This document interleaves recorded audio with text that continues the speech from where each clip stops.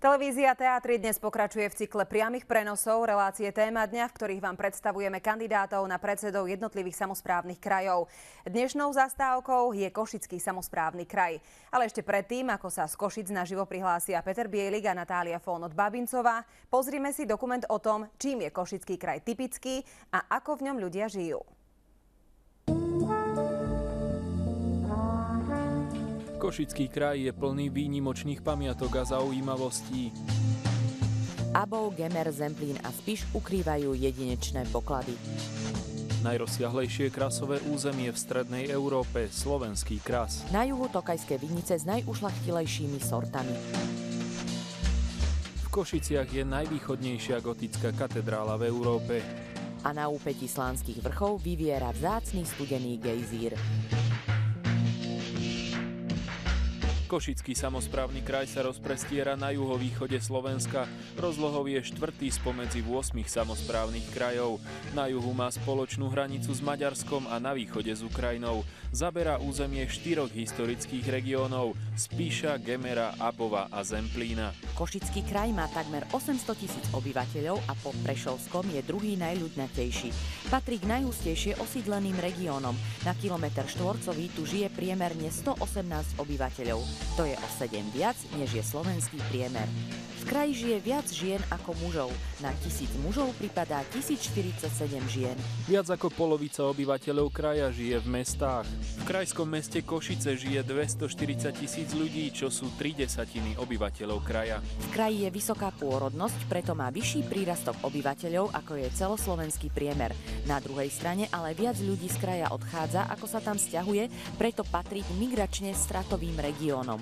Z hľadiska štatistiky je to relatívne mladý región región. Priemerný vek obyvateľa kraja je necelých 38 rokov. Košický kraj má zaujímavé národnostné zloženie. Viac ako štvrtina jeho obyvateľov má inú ako slovenskú národnosť. Slováci tvoria 73% obyvateľstva kraja, takmer 10% sú Maďari, necelých 5% Rómovia, za ktorými nasledujú Česi, Rusíni a Ukrajinci.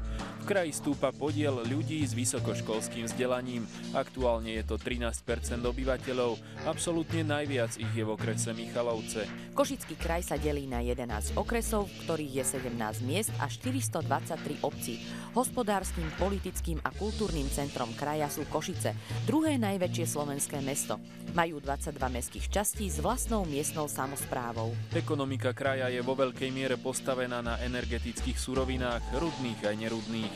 Z energetických surovín sú to ropa a zemný plyn v okresoch Michalovce a Trebišov. Zdroje geotermálnej energie sú v okrese Košice okolie v lokalite Ďurkov. Z rudných surovín sú významné železné a strieborné rudy v okrese Rožňava a Spišská Nová Ves. Významné sú tiež ložiská magnezitu v okolí Košíc a kamennej soli v okrese Michalovce. Ťažiskovými ekonomickými odvetviami sú hutnícky priemysel, strojárenský, potravinársky, elektrotechnický a ťažobný, ďalej priemysel stavebných môd, palív a energetiky. Významne je zastúpené aj stavebníctvo a poľnohospodárstvo. Svoj svoje miesto v štruktúre priemyslu má aj potravinárska výroba, ktorá spracúva produkty poľnohospodárskej prvovýroby. Poľnohospodárska pôda zaberá polovicu kraja. Tri petiny z nej tvorí orná pôda. Lesy pokrývajú veľkú časť územia, najmä v okresoch Gelnica a Rožňava. Kraj z hľadiska vyše 11-percentného podielu na tvorbe celoštátneho HDP aj štruktúrou svojho hospodárstva patrí medzi najvýznamnejšie regióny Slovenska. Košický kraj má po Banskobystrickom a Prešovskom najvyššiu mieru nezamestnanosti, ktorá sa blíži k 20%. Najkritickejšia situácia je v okresoch Rožňava, Trebišov a Sobrance. Problémom je, že viac ako polovica nezamestnaných je v evidencii úradov práce dlhšie ako rok. V kraji je takmer 2400 km ciest, ale iba niečo vyše 5 km diálnic. Košický samozprávny kraj je od 1. januára 2004 vlastníkom ciest 2. a 3. triedy na svojom území, ale aj 655 mostných objektov. Udeluje dopravné licencie, schváľuje cestovné poriadky a vykonáva odborný dozor. Ďalej objednáva a financuje služby prímeskej praviteľnej autobusovej dopravy, čiže poskytuje dopravcom príspevok, ktorý je rozdielom medzi nákladmi dopravcov a tržbami od cestujúcich. Krajom prechádza takmer 800 kilometrov železničných tratí. Veľký význam pre obchod, dopravu a priemysel má prekladisko v Čiernej nad Tisou.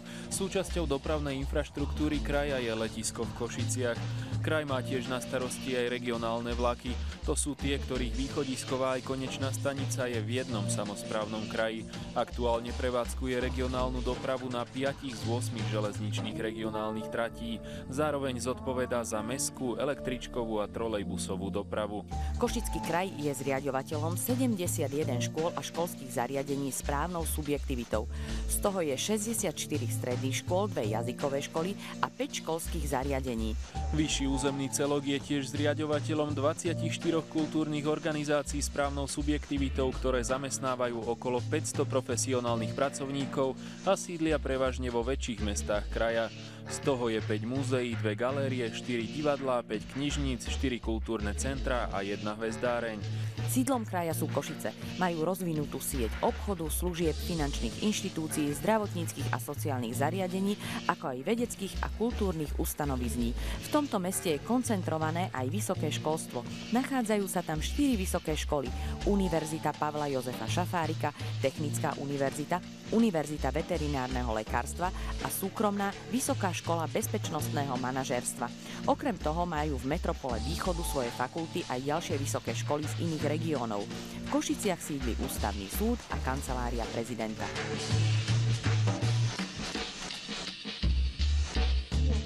Významným rozvojovým impulzom v oblasti kultúry sa od roku 2008 stal projekt Košice, Európske hlavné mesto kultúry 2013, do ktorého sa krajská samozpráva zapojila investične i programovo. V Košiciach je prioritou realizácia ostrovov kultúry s cieľom zatraktívniť a rozšíriť ponuku kultúrnych služieb, a to v meste i v regióne.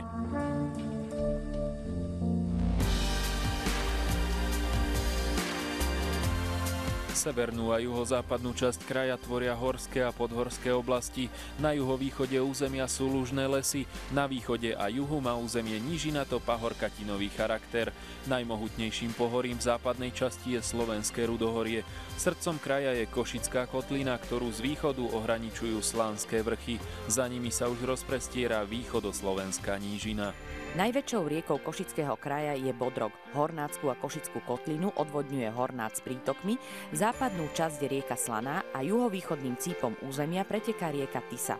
Nielen z vodohospodárskeho, ale aj z rekreačného hľadiska sú dôležité vodné nádrže. Medzi najvýznamnejšie patrí druhá najväčšia vodná plocha na Slovensku Zemplínska šírava. Ďalej sú to nádrže Ružín, Bukovec a Palcmanská maša.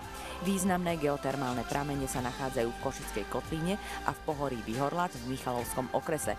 Minerálne vody s liečivými účinkami sa využívajú v sobraneckých kúpeľoch. Prírodné krásy a bohatstvo kultúrno-historických pamiatok v Košickom kraji vytvárajú dobré predpoklady pre rozvoj turizmu. Cestovný ruch je preto dôležitou súčasťou ekonomiky regiónu. Historické regióny Spíš, Gemer, Abov a Zemplín si dodnes udržiavajú vlastné tradície, zvyky, obyčaje, ľudovú slovesnosť a dokonca aj pôvodné remeslá a hoci je každý z nich jedinečný, spolu vytvárajú rozmanitý celok plný pozoruhodných kontrastov. Na území Košického kraja sú štyri veľkoplošné chránené územia, národné parky Slovenský raj a Slovenský kras a chránené krajinné oblasti Latorica a Vyhorlat. Medzi najvyhľadávanejšie miesta oddychu a turistiky nielen domácimi, ale aj zahraničnými návštevníkmi patria jedinečné krásy slovenského raja s typickými hlbokými tiesňavami, kaňonmi a vodopádmi. Lokalita Kláštorisko ponúka ruiny stredovekého kartuzianského kláštora, na juhozápade kraja je naše najrozsiahlejšie krasové územie, slovenský kras s množstvom jaskýň, priepastí a plošín. UNESCO ho pre bohatstvo krasových javov a pre jedinečné druhy flóry a fauny zaradilo do siete medzinárodných biosférických rezervácií. Prírodným unikátom európskeho významu je Herlianský gejzír. Je to vzácny studený gejzír, nachádzajúci sa v obci Herliany na úpeti slánskych vrchov v starom kúpeľnom areáli. Gejzír samovolne strieka do výšky 7 až 15 metrov v nepravidelnom časovom odstupe desiatok hodín. Erupcia trvá asi 25 minút a ponúka úžasné prírodné divadlo. Gejzír je aktívny nepretržite od roku 1872, keď ho v hĺbke 400 metrov navrtali pri zabezpečovaní liečivej minerálnej vody pre kúpele. Gejzír bol v roku 1987 vyhlásený za národnú prírodnú pamiatku a od roku 2002 je na predbežnom zozname Svetového dedictva UNESCO. V súčasnosti postupne stráca na sile a čas medzi jeho erupciami sa predlžuje. Vzácnosťou Košického kraja je Tokajská oblasť, kde pestujú a dorábajú jedinečné tokajské víno, najušlachtilejšiu sortu na Slovensku. Tokajské víno označil francúzsky kráľ Ľudovít XIV za kráľa vín a víno kráľov. Len v tejto geografickej oblasti na južných svahoch Zemplínskych vrchov sú najvhodnejšie klimatické a pôdne pomery na pestovanie špeciálnych odrôd hrozna. Historické dedičstvo kraja dokumentujú aj architektonické skvosty, najmä hrady, zámky, kaštiele, ale aj celé historické centrá miest. Skvostom je aj renesančný kaštiel v Bekliari s pôvodným interiérom a bohatými zbierkami trofejí. Získal cenu Európa Nostra za pamiatkovú obnovu. K píche Košického kraja patril ešte donedávna aj hrad Krásna Hôrka. Bol to jeden z najzachovalejších hradov na Slovensku. Táto vzácna kultúrna a historická perla Gemera na jar 2010 ale vyhorela a veľká časť jeho zbierok bola zničená. Metropola kraja Košice sa tiež môže pochváliť mimoriadne vzácnými a zaujímavými stavbami.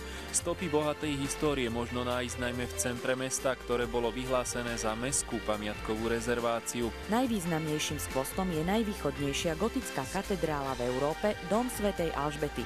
Je pýchou nielen Košičanov, ale aj obyvateľov celého Košického kraja. Práve tí si túto stavbu zvolili za najväčší div kraja a patronku Košic Alžbetu Uhorskú, ktorej je dom zasvetený, vyhlásili za najkošičana všetkých čias. A to aj napriek tomu, že v tomto meste nikdy nebola. Ak sa ktoréhokoľvek Košičana opýtate, čo by si návštevníci kraja mali rozhodne pozrieť, určite nevynechá dom svätej Alžbety, ktorý má hneď niekoľko naj. S plochou 1200 m štvorcových a kapacitou vyše 5000 ľudí ide totiž o najväčší kostol na Slovensku. Zároveň ide o najvýchodnejšiu gotickú katedrálu v Európe. Medzi najvýznamnejšie pamiatky stredovekého umenia na Slovensku patrí hlavný oltár svätej Alžbety. Výnimočný je tým, že pozostáva z dvoch párov pohyblivých krídel a podobný nenájdete v celej Európe. Za zmienku stoja aj kráľovské schody, dvojitých točitých schodísk je len 5 v Európe a v Košiciach sú tie úplne najstaršie.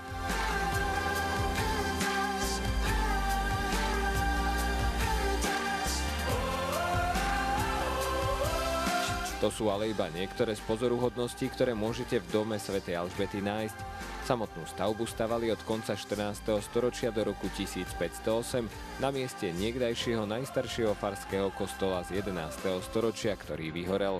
Tragédie sa nevyhýbali ani domu. V roku 1556 ho zachvátil rozsiahly požiar, o 150 rokov neskôr bol poškodený počas obliehania Františka II. Rákociho.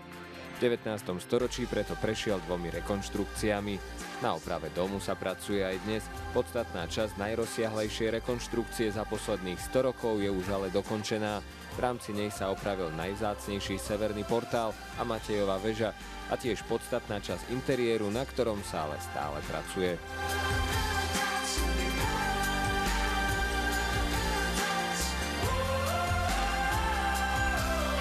Aktuálne píchu Košíc ročne navštíví zhruba 100 tisíc turistov, ktorí si môžu napríklad vychutnávať aj takýto krásny pohľad na celé Košice z veže kráľa Žigmunda. Košice majú niekoľko zaujímavých prvenstiev. Ako prvé európske mesto získali v roku 1369 vlastný erb od panovníka Ľudovíta Veľkého. Metropola východu sa natrvalo zapísala aj do povedomia svetovej športovej verejnosti. Každú jeseň tam štartujú najstarší európsky a druhý najstarší svetový maratónsky beh, Medzinárodný maratón mieru.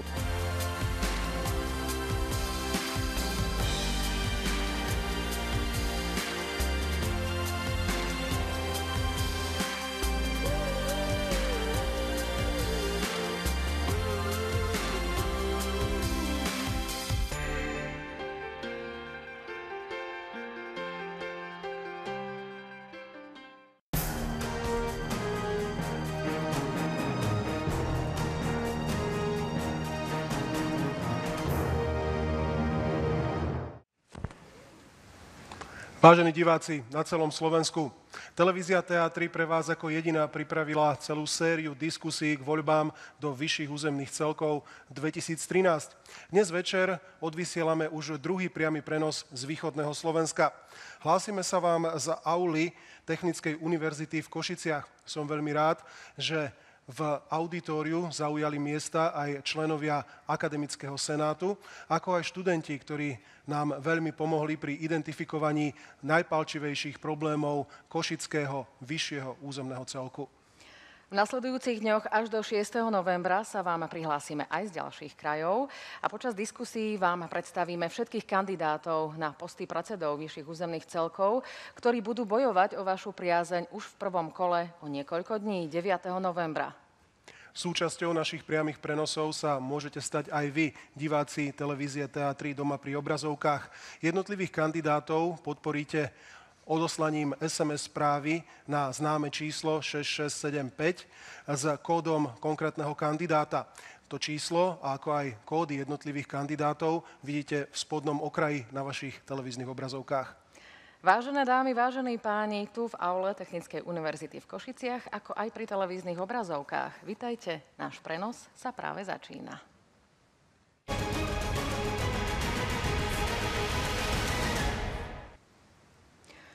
Peter, tak aké sú podmienky pre kandidátov? Povedzme si na úvod. Myslím si, že sú viac než demokratické. Pre každého z diskutujúcich pripravila televízia teatry úplne rovnaké podmienky. Kandidáti majú rovnaký čas na vyjadrenie a rovnaký počet priaznivcov aj tu v aule Maxime Technickej univerzity. Je na každom kandidátovi, ako bude so svojím časom, ktorý mu bol pridelený, hospodáriť. Ak však pridelený čas nevyčerpá počas stanovených okruhov otázok, zvyšný čas mu prepadne a už ho nebude môcť využiť. Ja to ešte doplním, že pre každého z účastníkov platia rovnaké pravidlá. To znamená, že každý z diskutujúcich je povinný rešpektovať pokyny moderátorov. Zároveň má ale právo reagovať aj na iných účastníkov diskusie. Je ale povinný zdržať sa osobných invektív, najmä urážania, osočovania alebo vulgárnych slov. V piatok v Prešove sme tomu predišli, naozaj to Presne bol tak. veľmi slušný prenos. Ak by sa však stalo niečo iné počas nášho dnešného prenosu a niektorý z kandidátov nedodržal podmienky, ktoré sú takto stanovené, máme právo odobrať mu slovo a dokonca na nevyhnutnú dobu aj prerušiť priamy prenos.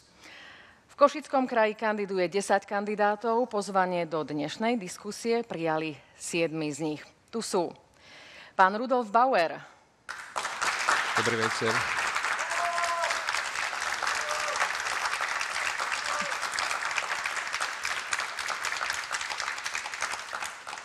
Možno viete, že pán Rudolf Bauer kandiduje za stranu konzervatívni demokrati Slovenska a podporiť ho môžete SMS správou s kódom KE1. Pozvanie do dnešnej diskusie prijal aj pán Jaroslav Džunko.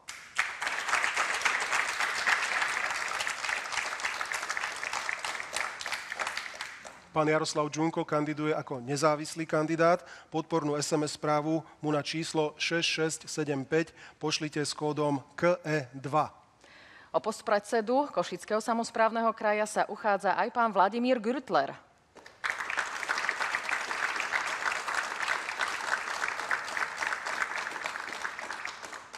Pán Vladimír Görtler kandiduje za regionálnu stranu 7 statočných. Statočných podporiť ho môžete odoslaním správy na číslo 6675 s kódom KE3.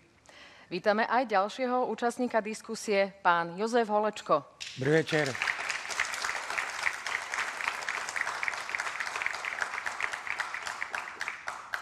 Pán Jozef Holečko je druhým z nezávislých kandidátov a jeho kód je KE4. Takisto pozvanie prijal aj pán Ivan Kun. Dobrý večer.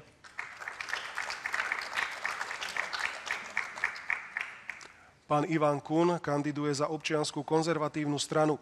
Jeho kód znie KE5. Na pôde Auli univerzity v Košiciach Technickej univerzity vítame aj ďalšieho uchádzača o post predsedu Košického samozprávneho kraja. Je ním pán Rastislav Masník. Dobrý večer.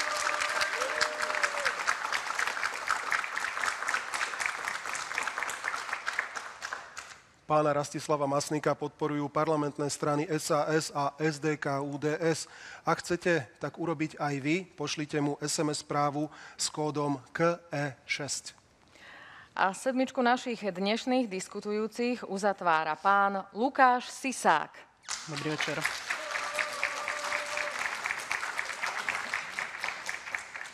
Pán Sisák je kandidátom komunistickej strany Slovenska a jeho kód je KE7. Pani, ešte raz dobrý večer, vítajte.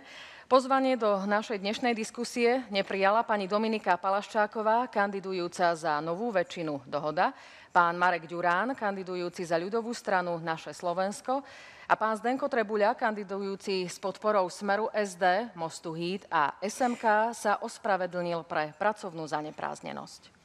Takže to sú naši kandidáti na predsedu Košického samozprávneho kraja. Pozrieme sa už teda, ako sa popasujú s našimi otázkami. Ak dovolíte, páni kandidáti, najprv by sme si to vyskúšali nie na ostro, to znamená bez časomiery. Možno viete, možno neviete, Európske hlavné mesto kultúry sú samozrejme v tomto roku Košice. Viete, ktoré je druhé hlavné mesto kultúry v tomto roku? Prihláste sa, kto vie. Nech sa Marseille vo Francúzsku.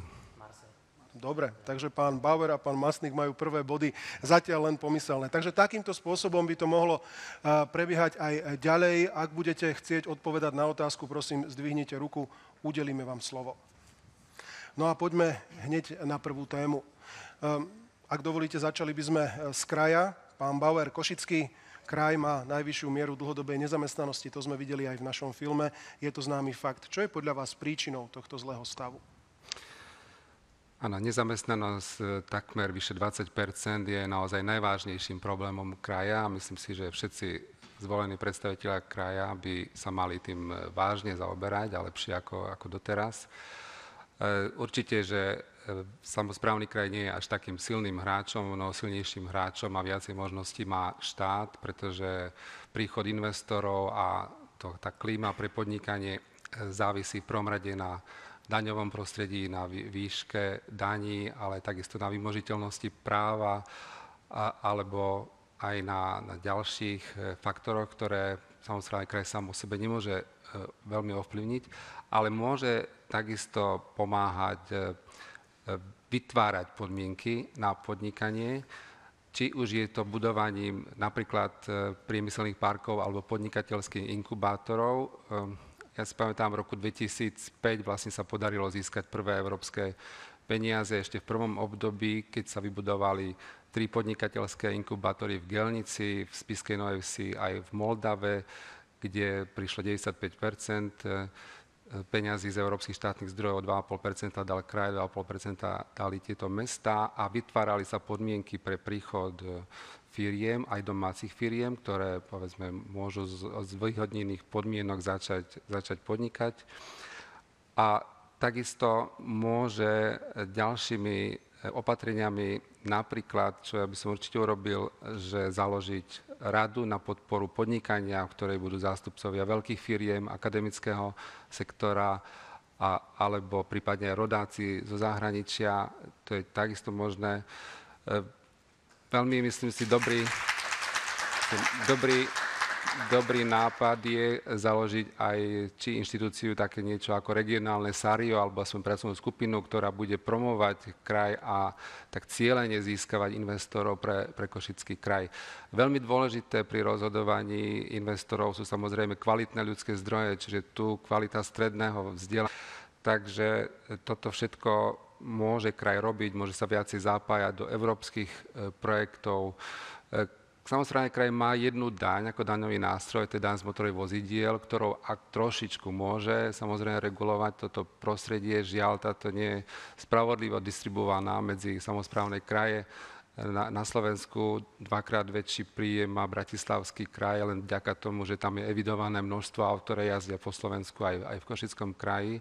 Čiže to by bolo potrebné, potrebné prehodnotiť. Ďalšie zaujímavé opatrenie na podporu malých a stredných podnikateľov je, je napríklad rozložiť e, zadávanie zákazok na menšie zákazky, aby mali prístup aj menšie podniky, aby mali k, k ním prístup. Tak to robia aj v Škandinávii. Tým, tý, týmto všetkým týmto všetkým môže samozrejme kraj robiť a zmeniť to, čo dneska je v konkurencii európskych regiónov, v tom poslednom rebríčku eh, európskej konkurencieschopnosti regiónov je východné Slovensko až na 240. mieste z 273 vrátane Chorvátska, čo je veľmi, veľmi zlá vizitka aj toho predchádzajúceho obdobia. Ďakujem pekne. Ak sa nikto nehlasí, budeme pokračovať eh, podľa ABCD. Pán Džunko, nech sa páči eh, vaša odpoveď na túto otázku. Čo je podľa vás príčinou zlého stavu v ohľadne dlhodobej nezamestnanosti v Košickom kraji? Dobre, ďakujem televízii Teatri za pozvanie, že mi umožnila vystúpiť v tejto relácii. E, chcem ešte aj poďakovať 1150 občanom z Košic, ktorí mi podpísali túto petíciu, že môžem kandidovať ako nezávislý kandidát bez podpory politických strán. Úvodom by som sa chcel ešte troška predstaviť e, zo svojho života, pretože som asi prvýkrát v televízii, tak e, na túto krízu som sa veľmi dávno už pripravoval. Vyštudoval som dve vysoké školy. Prvú prírodné vedy, vedecký odbor chemia, druhú vysokú školu som vyštudoval polnohospodársku a popri tom som sa stal aj vynálezcom, som autorom 11 vynálezov, takže ja sa na krízu teším, pretože kríza je práve dobrým miestom, kde môže veľa investorov nájsť veľa pracovných síl a e, proste tento kraj môže sa pozrieť. Ja vám poviem na úvod takú troška historickú srandu, že... No a hneď potom po tej srande teda pôjdeme k mojej otázke. Áno, no, tá, tá spočíva v tom, že pred 100 rokmi na Slovensku bolo nezamestnaných veľa kočišov, pánskych kočov a povozov. Prečo? Lebo v Amerike nejaký pán Ford do kočov začal montovať automobilový motor. A dnes si predstavte, po 100 rokoch sa Slovensko stalo európskou veľmocou vo výrobe automobilov. Čiže to je historické poučenie. Je to historické poučenie, že na kríze sa dá aj zbohatnúť. Dobre, zaujímavý postreh. Ako... Poďme prosím k tej vysokej miere nezamestnanosti. Ak vás kríza teší, tak tá miera nezamestnanosti vás predpokladám, že až tak neteší. Neteší ma miera nezamestnanosti, ale ako som spomínal, som aj vynálezca, takže potom ďalej v mojom volebnom programe to rozvidiem, že ako tú nezamestnanosť sa dá na našom Košickom kraji znížiť. Takže ďakujem za slovo, šetrím si čas. Ďakujem pekne. Zatiaľ neevidujem ďalšie hlásenie sa do debaty. Pokračujeme teda podľa ABCD. Pán Gürtler, nech sa páči. Dobrý večer. Takisto by som sa rád predstavil. Moje meno je Gürtler. Kandidujem za predsedu Košického samozprávneho kraja za novovzniknutú stranu 7 statočných regionálna strana Slovenska. Ďakujem všetkým statočným divákom, že sa rozhodli pozerať túto televíziu teraz, na rozdiel od pozerania iných mozog vymývajúcich vecí v iných kanáloch. To je super. A ďakujem takisto Teatri za to, že zabezpečila túto diskusiu. A to, že to robí súkromná televízia, svedčí o tom, že tento štát nefunguje tak, ako by mal. Lebo takéto veci by mala robiť verejnoprávna televízia.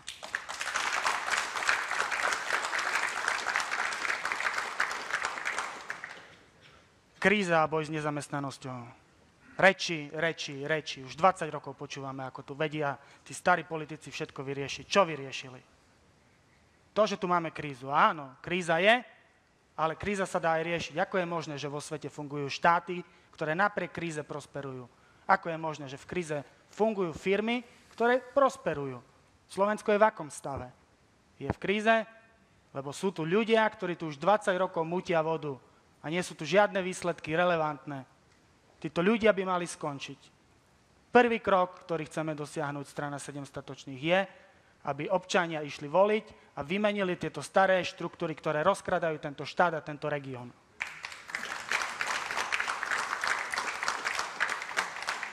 Máme jasný program, úplne jasný program, nie reči a bláboli, lebo všetci vieme, aké sú kompetencie Košického samozprávneho kraja. Zákon 302 z roku 2001, pán Bauer, vy ste bol ten, ktorý ste ho schvaľoval, má minimálne kompetencie. Paragraf 4 to hovorí úplne jasne. Minimálne kompetencie. To znamená, ten minimum musia využiť schopní ľudia, nie neschopní, ktorí nie sú schopní sa uživiť v súkromnej sfére, a sačkujú sa do štátnych a regionálnych funkcií. Takže vymeniť týchto ľudí a program náš je jasný. Dva body, žiadne reči.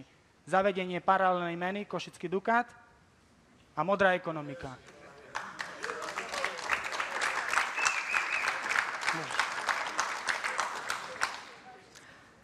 Ak môžeme pokračovať, pán Gürtler? Alebo ešte ste chceli Už len niečo dodať? maličko a dokončím tento bod programu, ak by som mohol. Tým, že zavedieme Košický Dukát, zabezpečíme pracovné príležitosti pre občanov, zlepšíme podnikateľské prostredie a zabezpečíme rozvoj tohto regiónu. Lebo to, čo sa deje tu teraz, to, čo sa deje na východe, to je ničenie tohto regiónu. Ja si dovolím tvrdiť, že smer región ničí. A aj dneska v správach vyšlo, že boli zastavené program na výstavbu hrádzok, ktorý fungoval, ktorý prinášal prácu pre tisíce ľudí. Takže my tvrdíme, že smer región ničí a to musí skončiť. Preto sedem statočných bude konať tak, ako bude konať.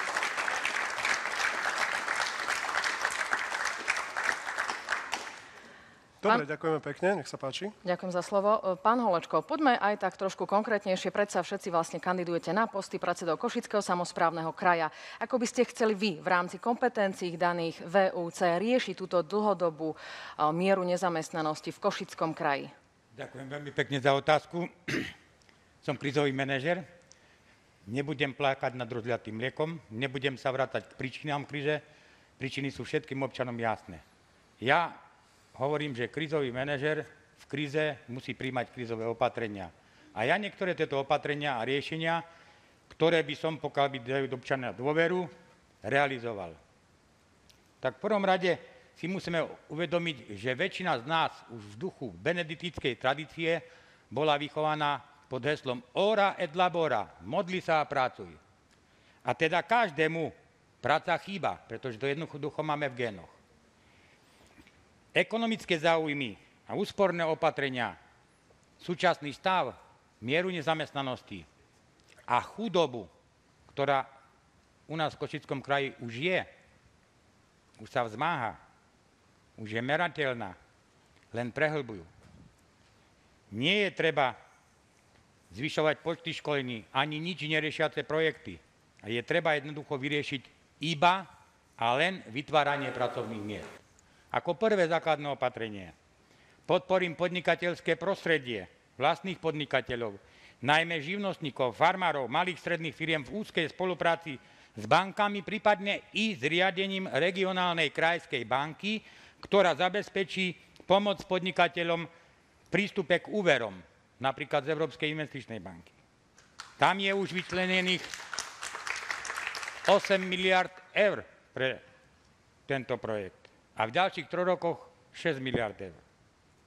Naplním súčasné neobsadené per, priemyselné parky zahraničnými a hlavne vlastnými investormi z nášho kraja. Pre tento účel by som okamžite v Košickom samozprávnom kraji zriadil útvar, boja proti nezamestnanosti a boja proti chudobe, ktorí by mali jednu jedinú hlavnú úlohu. Vyhľadávať investorov v zahraničí, vyhľadávať vlastných investorov, pripravovať, ponúkať, rokovať s nimi a transparentne v úzkej spolupráci so starostami obcí, s primátormi miest riešiť problém infraštruktúry, polnohospodárstva s cieľom vytvoriť pracovné miesto, hlavne a zamerané smerom na cieľové skupiny, a to sú skupiny mladých, dlhodobo nezamestnaných. Veď sme videli v úvode, že máme viac jak 50% dlhodobo nezamestnaných. Okamžite je treba začať odstraňovať príčiny štruktúrálnej nevyváženosti, pretože v piatých okresoch kraja je miera nezamestnanosti vyššia ako 20% podľa údajov Ústredia práce sociálnych vecí a rodiny. Na tieto mikroregióny treba vyšiť programy na mieru, pripraviť ich z úrovni kraja, také programy, ktoré týmto mikroregiónom pomôžu. Je pre mňa trošku smutné, keď sú pozvaní na v piatok sa konala konferencia Inštitút, zamestnanosti, to organizoval v Tornali, s ktorým rožňava najhoršie e, okres v miere nezamestnanosti susedy, a nikto tam z kompetentných neprišiel. Okrem tu nás dvoch, pána Gultera a mňa. Dobre, veľmi pekne ďakujeme. Ešte keď dovolíte, ešte keď dovolíte, by som chcel spomenúť ten najhlavnejšie opatrenie, ktoré treba priniesť, a to uplatniť stratégiu Európa 2020 v praxi, kde je treba vytvárať inkluzívny trh. Popri otvorenom trhu práce paralelne budovať inkluzívny trh. Tento inkluzívny trh doniesie prácu práve týmto dlhodobo nezamestnaným a mladým. Ako na to? Veľmi jednoducho. Pokiaľ bude záujem, vrátim sa k tomu ešte. Zatiaľ ďakujem za pozornosť. Pán Görtler sa e, krátko hlási do diskusie, nech sa páči. Ja by som veľmi krátko zareagoval na kolegu Holečka, ktorý skonštatoval to, čo sa udialo v Tornali. A to naozaj o niečom svedčí a svedčí to aj o tom, že tí ľudia, ktorí sú kompetentní, nechcú konať a vyhýbajú sa diskusii. Napríklad my s kolegom Kravčíkom sme vyzvali oficiálne pána Trebuľu a pána Buriana, štátneho tajomníka, aby začali diskutovať o zamestnanosti. Bez odozvy. A dneska takisto. Pán Trebuľa radšej neprišiel diskutovať. Čoho sa bojí, alebo v čom je problém? Ospravedlnil sa pre pracovné povinnosti.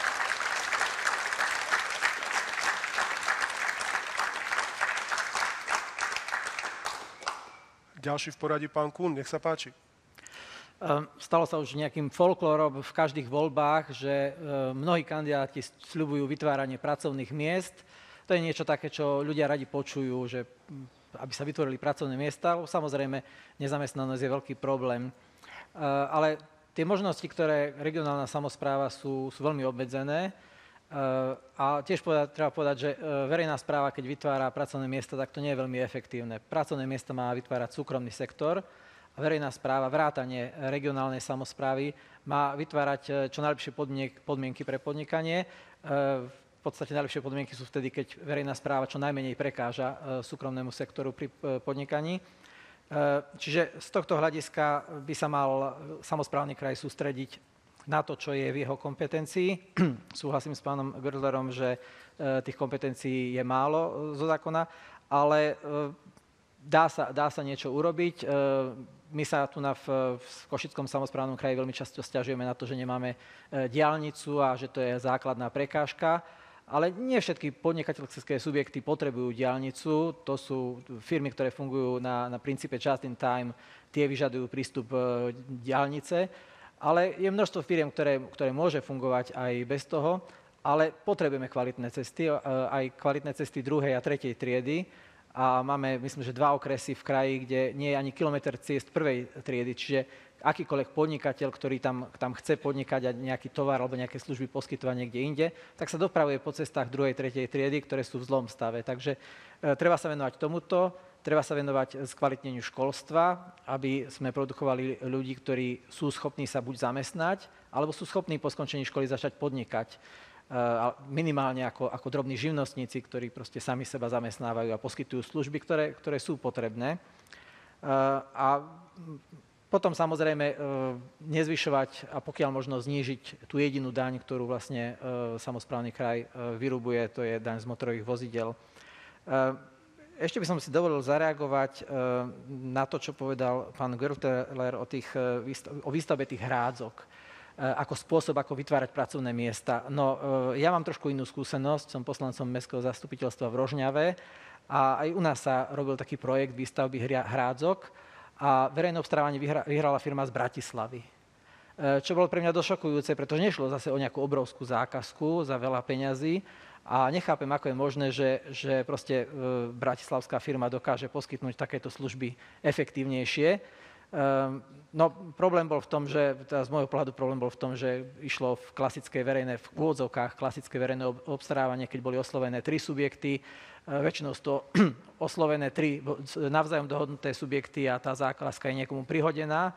A to tiež vlastne nepomáha fungovaniu ekonomiky, ak a v tomto smere myslím si, že samozprávny kraj má ešte nejaké rezervy podľa poslednej štúdie, ktorú robilo Transparency International Slovensko, napríklad samozprávny kraj pri zákazkách, keď zadáva verejné obstarávania, iba tretinu zákazok realizuje prostredníctvom elektronických aukcií, ktoré sú najefektívnejším, najtransparentnejším spôsobom. Sú kraje, ktoré až dve tretiny zákazov robia cez verejné obstarávanie. Čiže máme tu na rezervy ako samozprávny kraj by mohol zabezpečiť, aby sa tie peniaze využili efektívne, lebo tak e, keď postavíte e, za, obrazne poviem, za, za 1 eurometer cesty, e, a, ale preto, že, že sa to dohodilo, dohodilo nejakému podnikateľovi, ktorý má dobré kontakty s, s tými vládnúcimi politikmi, a dá sa to postaviť za, za pol eura, no tak samozrejme za rovnakú sumu postavíte menej. Takže, takže väčšia efektivita fungovania, e, rozpočet e, samozprávneho kraja je dosť veľký a bolo by sa treba pozrieť na to, akým spôsobom e, samozprávny kraj hospodári so svojimi peniazmi.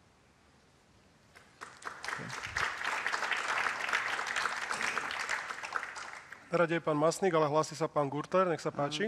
Dovolil by som si zareagovať, lebo kolega skonštatoval istú, istú, istú antagonistickú pozíciu vo vzťahu k hráckam.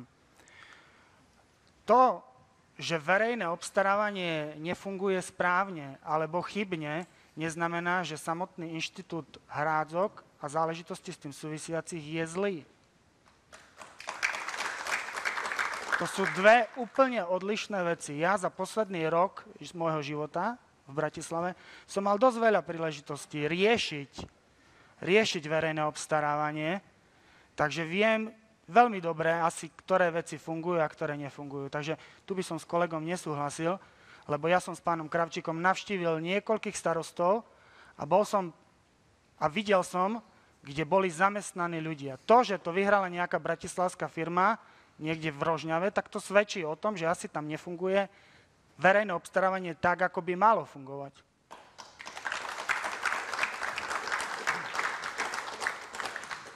Pán Rastislav Masník, k tejto téme, nech sa páči.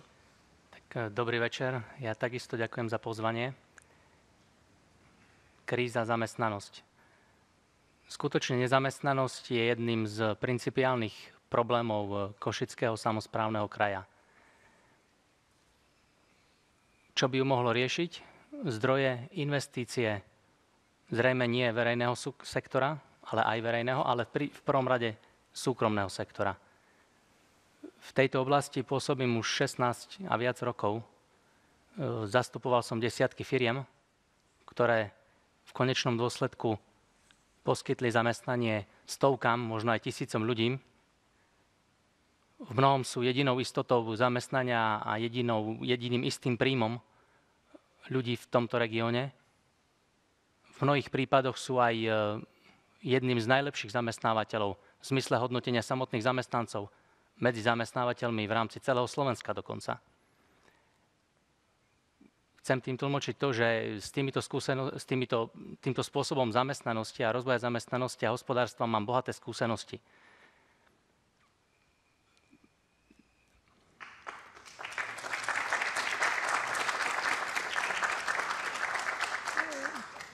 To veľké množstvo investorov, ktoré prešlo cez moju kanceláriu, kde nechodili kvôli nejakej úradníckej pečiatke, k tej prídu samozrejme k aktuálnemu župánovi, predsedovi, primátorovi a tak ďalej, tak či onak, ak ju budú potrebovať.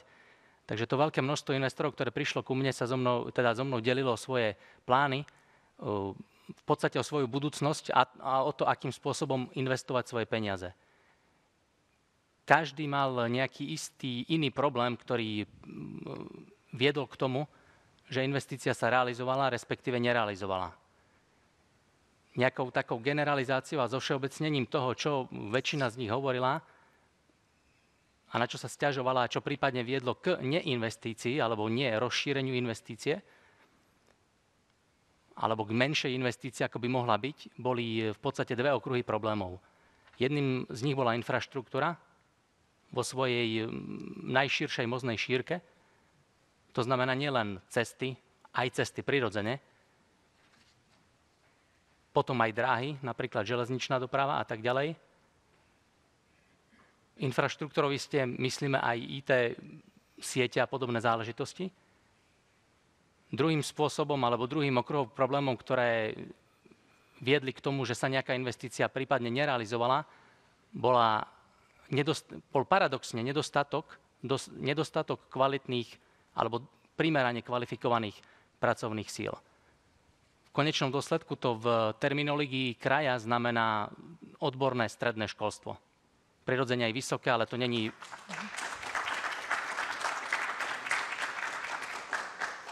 Prirodzene aj vysoké, ale to nepatrí do mm, pôsobnosti kraja. Prirodzene aj základné, lebo to je základ, ale to tiež nepatrí do tejto pôsobnosti. Tieto skúsenosti jednoznačne chcem ďalej nejakým spôsobom implementovať e, v prípade, že sa stanem teda predsedom. Ja mierne nesúhlasím s tým, že kraj nemôže e, alebo nemá kompetenciu nejakým spôsobom hospodárstvo kraja rozvíjať. Kraj ako má, má jednu z primárnych, práve že má práve že jednu z primárnych kompetencií alebo úloh rozvíjať hospodárstvo a rozvíjať, zveľaďovať život v kraji. Reforma verejnej správy bola istým spôsobom začatá, ale nebola dokončená. Z istých dôvodov Eh, obáv politikov, prípadne v Bratislave a obdobne, nepreniesť príliš veľa kompetencií na kraje. Na druhej strane máme tu dostatok, ist, isté množstvo kompetencií, máme tu isté množstvo majetku. Dokonca dnes, to je už tretie funkčné obdobie krajov, to v podstate 12 rokov, nedokončil sa ešte ani audit kraj, majetku kraja. To znamená, my v podstate nevieme, aký celkový majetok máme, následne nevieme, s akým majetkom môžeme pôsobiť, hospodáriť, hospodárne ho vynakladať.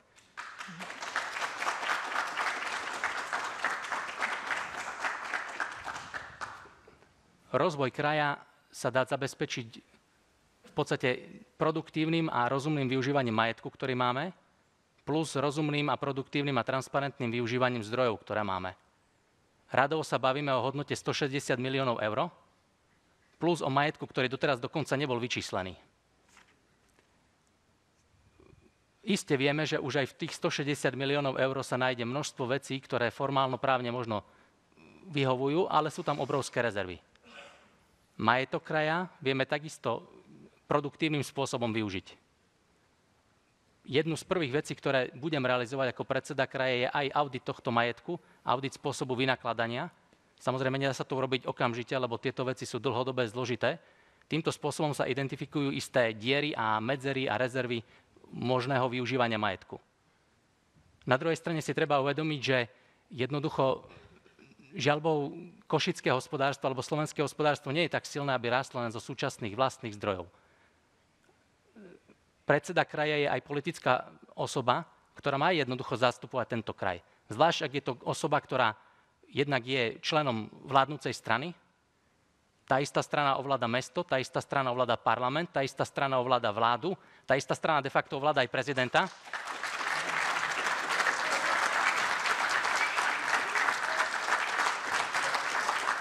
No. No a táto strana, ktorej predstaviteľ tu jednoducho z úcty k občanom nedošiel. Ktorý tu nie je a ospravedlňujem sa z pracovných dôvodov. Uh, isté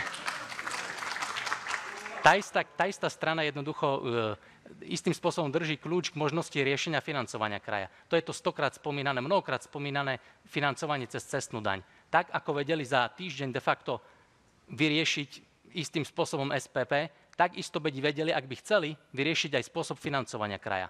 Cez cestnú daň, cez podielové dane z fyzických osôb. Stačí zmeniť zákon, spôsob financovania.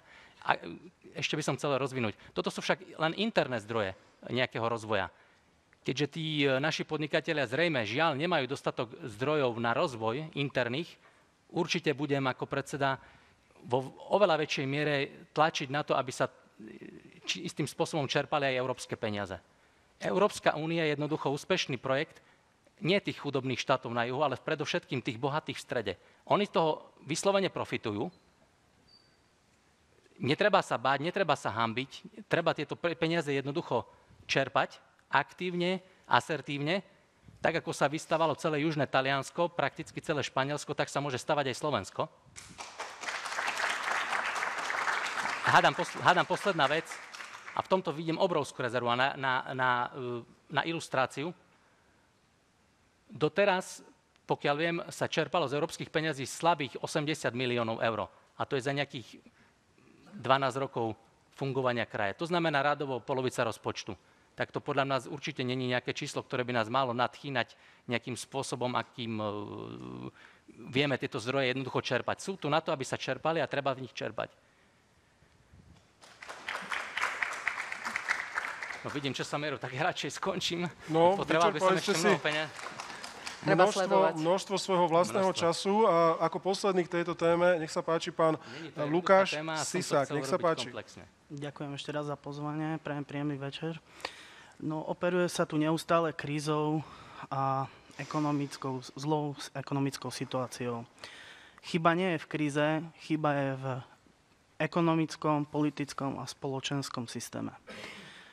Preto uh, chyba je v ponovembrových vládach a v parlamentoch, ktoré tu doteraz boli. Používajú sa tu termíny boj s nezamestnanosťou, kríza a priťahovanie investorov. Eh, Je to až tragikomické, že 24 rokov sa tu o tom rozpráva, ale stále je horšie, horšie a horšie. Ku septembru Slovensko má celkovo 406 tisíc nezamestnaných. Kandidujem na post predsedu Košického samozprávneho kraja za bežných pracujúcich ľudí, ktorých treba zastupovať a treba hlavne rozumieť im, čo majú oni za problémy. Sú to sociálne problémy, títo ľudia žijú na ťažkej sociálnej nízkej úrovni.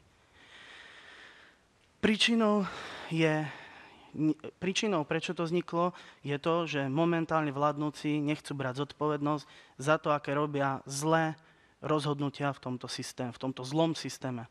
Tento systém treba zmeniť. Zmena je nevyhnutná a môže nastať len tým, že sa ju pokúsime zmeniť z dola. Z dola znamená v samozprávnom kraji byť bližšie k ľuďom a hlavne transparentnosťou, ľudskosťou. Čiže rozdeľovaním štátnych zákazok tak, aby sa peniaze neodlievali do cudzích súkromných eh, in- investičných firiem a malí živnostníci nemali prácu. My budeme bojovať preto, aby e, miera nezamestnanosti v Košickom kraji klesla čo najnižšie. Budeme priťahovať zahraničných, rozdávať im štátne zákazky? Hm, To nie. My musíme vytvoriť hlavne to, aby sme mohli tu na v Košickom kraji vytvoriť štátne podniky, regionálne podniky a tam zamestnať dlhodobo nezamestnaných, ktorí nemajú možnosť sa uplatniť v týchto veľkých investičných firmách.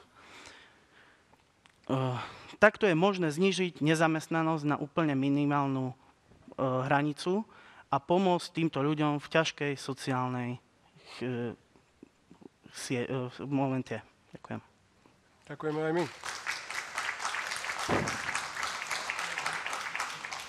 Ja by som toto kolo otázok uzavrel, ale ako poznám Natáliu, ona bude oveľa konkrétnejšia. Nech sa páči. Ja dám otázku, ja myslím, že tá odpoveď bude rýchlejšia, alebo je to veľmi exaktné, stručné páni. Hovoríme tu o dlhodobo nezamestnaných, o naozaj vysokej miere dlhodobo nezamestnaných v Košickom kraji, o možných riešeniach. Každý máte svoju víziu, ako to riešiť z postu predsedu VUC. Povedzme si ale tak osobnejšie možno. Keby ste za, vy zamestnali by ste dlhodobo nezamestnaného, prípadne akú prácu a plácu by ste mu vedeli dať? Pán e, Sisák, začnem od vás. Možno je to aj výhoda, lebo ste dohovorili, tak ste ešte v tempe. Ďakujem. Tak ja vám e, ďakujem ešte raz za slovo a ako ako zamestnať dlhodobo nezamestnaných? No práve vytvorením regionálnych alebo e, štátnych podnikov. Veď máme neskutočne veľa práce, je tu na, na východnom Slovensku, už keď si len zoberieme, čo sa týka cestnej infraštruktúry, my dávame niekoľko miliónové zákazky na veľkým spoločnostiam, ktoré si cenu práce dva, zdvojnásobňujú, čiže tá transparentnosť ďalej rozdeľujú prácu menším živnostníkom na úkor toho, že sebe ulievajú veľké toky peňazí do vrecka a opravujú, keď sa opravujú nejaké napríklad konkrétne cesty druhých a tretích tried, tak sa ledva zaplatajú z rozpočtu 10 dier na 3-4, aj to tak, aby na budúci rok boli znova poškodené, aby znova mohli túto prácu robiť. Nie, my zamestnajme dlhodobo nezamestnaných, kvalifikovaných ľudí na tento obor a ku každému oboru inak a dajme tú prácu a nech sa robí poriadne, transparentne. Nech kraj zaplatí týchto, zamestnan- týchto zamestnancov a tým zniží nezamestnanosť a bude jasne ako sa doteraz ulievali peniaze, ako sa netransparentne rozdeľovali zákazky. Ak dovolíte, s Natáliou e, spolupracujeme dlhé roky. Ja som pochopil inak tú jej otázku. Či by ste vy osobne zamestnali dlhodobo nezamestnaného, a teraz budem veľmi konkrétny, napríklad z osady.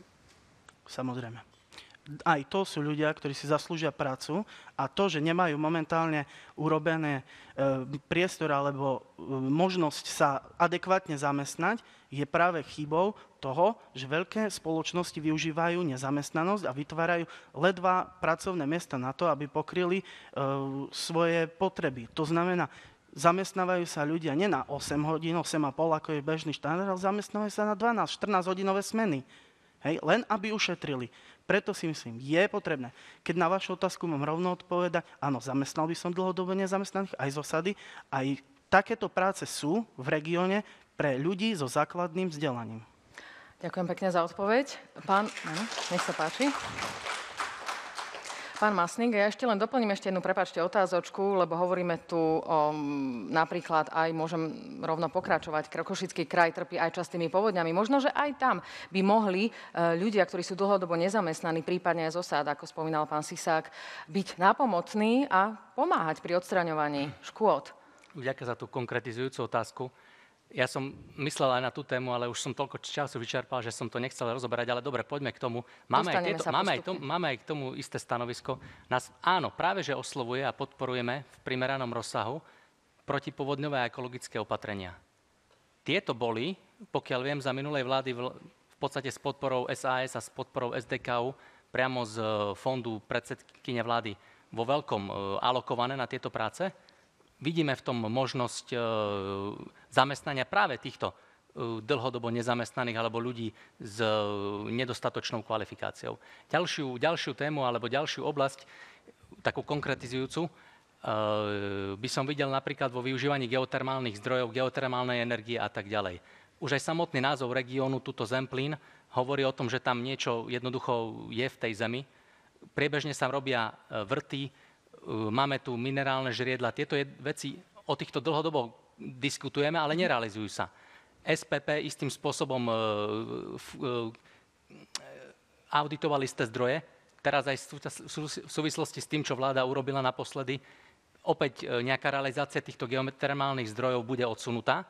Na druhej strane dokonca počujeme o čínskych investoroch. Ja ich samozrejme vítam, lebo keď tu nemáme domáce zdroje, nech sú z Európy, nech sú z Číny, ak zamestnajú za normálnych okolností našich ľudí, vy by ste je... zamestnali teda, áno, aby sme sa dostali aj k tej prvej pointe. V mojich firmách nemám dostatok, to by som nevyriešil nezamestnanosť. Ako predseda samozprávneho kraja by som vytváral jednoducho tlak na to, aby sa títo, zamestn- títo dlhodobo nezamestnaní určite mohli zamestnať pri niečom produktívnom. Produktívnejšom ako zbieranie odpadkov, alebo len.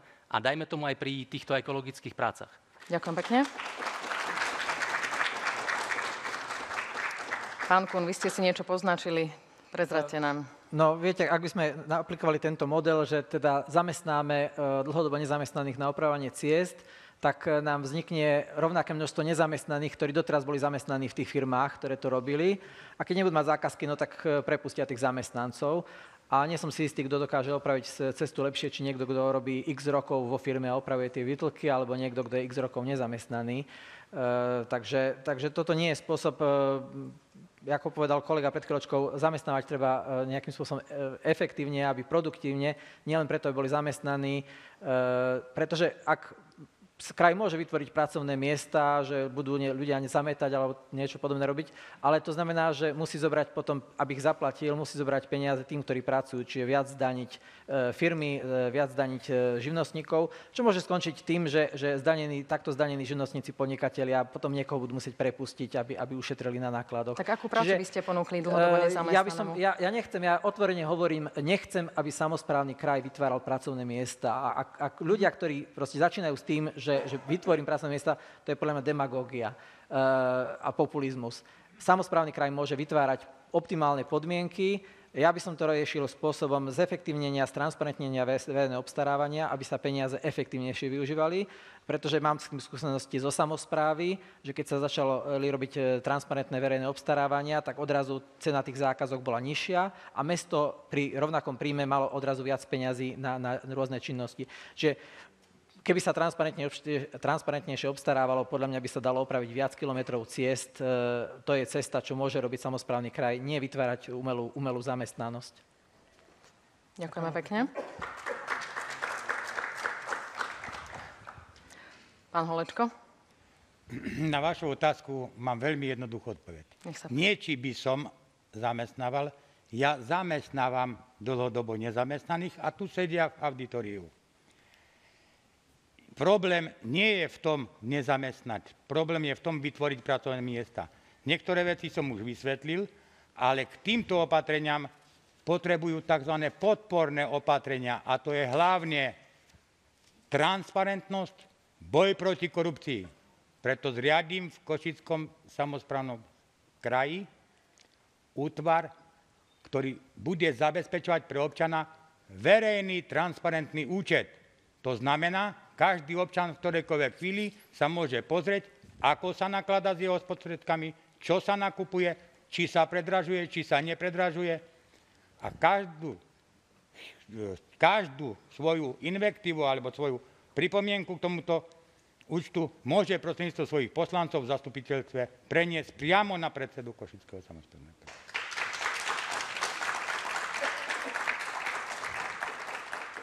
Ďakujem. Pán Gurtler, Aká bude vaša odpoveď? No ja len skonštatujem to, čo som už skonštatoval. My máme jasné veci. To znamená, Košický Dukát je paralelná mena, ktorá rozhybe túto ekonomiku, stojí a pada na tom, či naši ľudia sú schopní to urobiť. Funguje to vo Švajčiarsku, povedal to aj minulé kolega Vasilišin, paralelná mena VIR.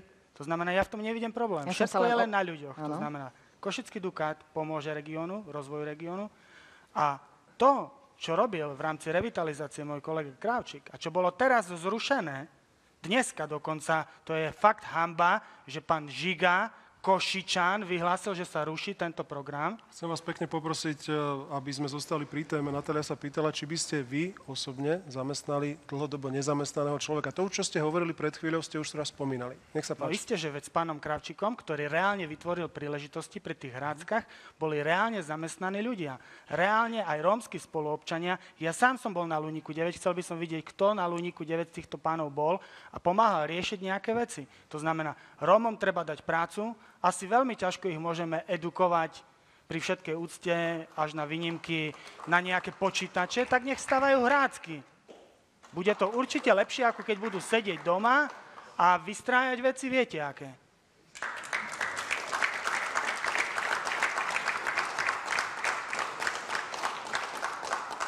Tak nepriamo sa vraciame opäť k tej prvej otázke, ale tak v zásade máte možnosť sa vyjadriť. Je to už len na vás, ako budete hospodáriť s odpovedou a s časom. Pán Žunko, tak ako vy ste na tom? Vy by ste osobne teda zamestnali dlhodobo nezamestnaného? Ak áno, akú prácu, tak, prácu by ste ja mu dali? som v minulosti pracoval v štátnej správe, takže som nemohol podnikať, takže nemám firmu, aby som zamestnal, ale chcem povedať to, že e, napríklad podľa môjho najnovšieho návrhu patentu 4 lomeno 2013, ktorý sa dá využiť pri stavbe cestných tunelov, napríklad aj pod Soroškou, tak je možné z profilu tunela vydolovať podľa toho môjho spôsobu veľký kamenný kváder, ktorý sa vyberie z tunela a potom je možné v kamenárskom priemysle tento veľký kváder rozrezať na menšie časti, napríklad pri stavbe rodinných domov na základy, dá sa použiť nadlážby, obklady, aj na náhrobné kamene. Hej. Čiže tu na týmto mojim novým technickým nápadom môže na Slovensku vzniknúť nové odvetvie kamenárskeho priemyslu, kde práve takíto ľudia, ktorí nemusia mať ani príliš e, stredoškolské a učňovské vzdelanie, ale určite nájdú veľa pracovných príležitostí. Pretože stavba tunelov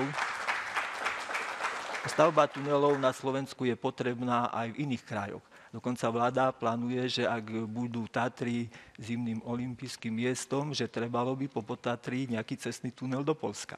Takže určite Slovensko je na to aj príro, svojou prírodou, keďže je strechou Európy, e, stekajú nám vody do Dunaja, do mora, zase sever e, Dunajec zase iné, čiže v strednej Európe sme strechou Európy, máme veľa kopcov, pohorí, kde sa táto technológia dá využiť. No ďalej napríklad mám veľa dobrých nápadov pre rozvoj polnospodárskeho vidieka v polnospodárstve. Napríklad tam som navrhoval, aby tých polnospodárských dedinách, kde sú nejaké družstvá, boli vybudované aspoň jedna technológia, kde spe, spestovaných e, semien, olejnín, či repky, slnečnice alebo cukrovej repy, sa priamo v tom polnospodárskom družstve urobil koncentrát oleja a cukru. A ten by sa prevážal do vzdialenejšieho podniku, kde by sa ten výrobok finalizoval. Prečo? Tieto polnospodárske výrobky obsahujú takmer 80% biologického odpadu, ktorý sa potom naspäť z týchto e, cukrovárov vozí naspäť na družstva tieto podniky majú veľké náklady na dopravu a týmto by ušetrili veľké peniaze, ktoré môžu použiť e, ďalší rozvoj svoj, či zvýšiť mzdy a tak ďalej. Čiže napríklad v polnospodárstve by som navrhoval využívať mm-hmm. nové technológie a to je potom príležitosť, lebo ja tu vidím aj veľa zahraničných investorov, že tu sedí. To sú určite naši študenti, budúci inžinieri, proste majú inšpiráciu tú technológiu rozvinúť, pretože ja určite nestačil by som na všetko. A pokiaľ im bude Slovensko malé, môžu ako zahraniční investori ísť aj do zahraničia s tou technológiou, ale dá sa povedať, že sú to zahraniční investori slovenského pôvodu.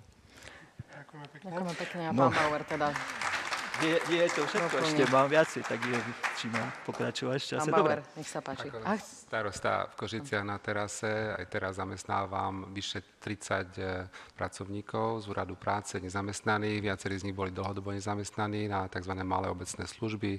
Ide o verejnoprospešné práce pri skrášľovaní okolia, verejných priestranstiev, malovanie lavičiek, zábradlí, čistoty a podobne. Ďakujem pekne, veľmi rýchlo.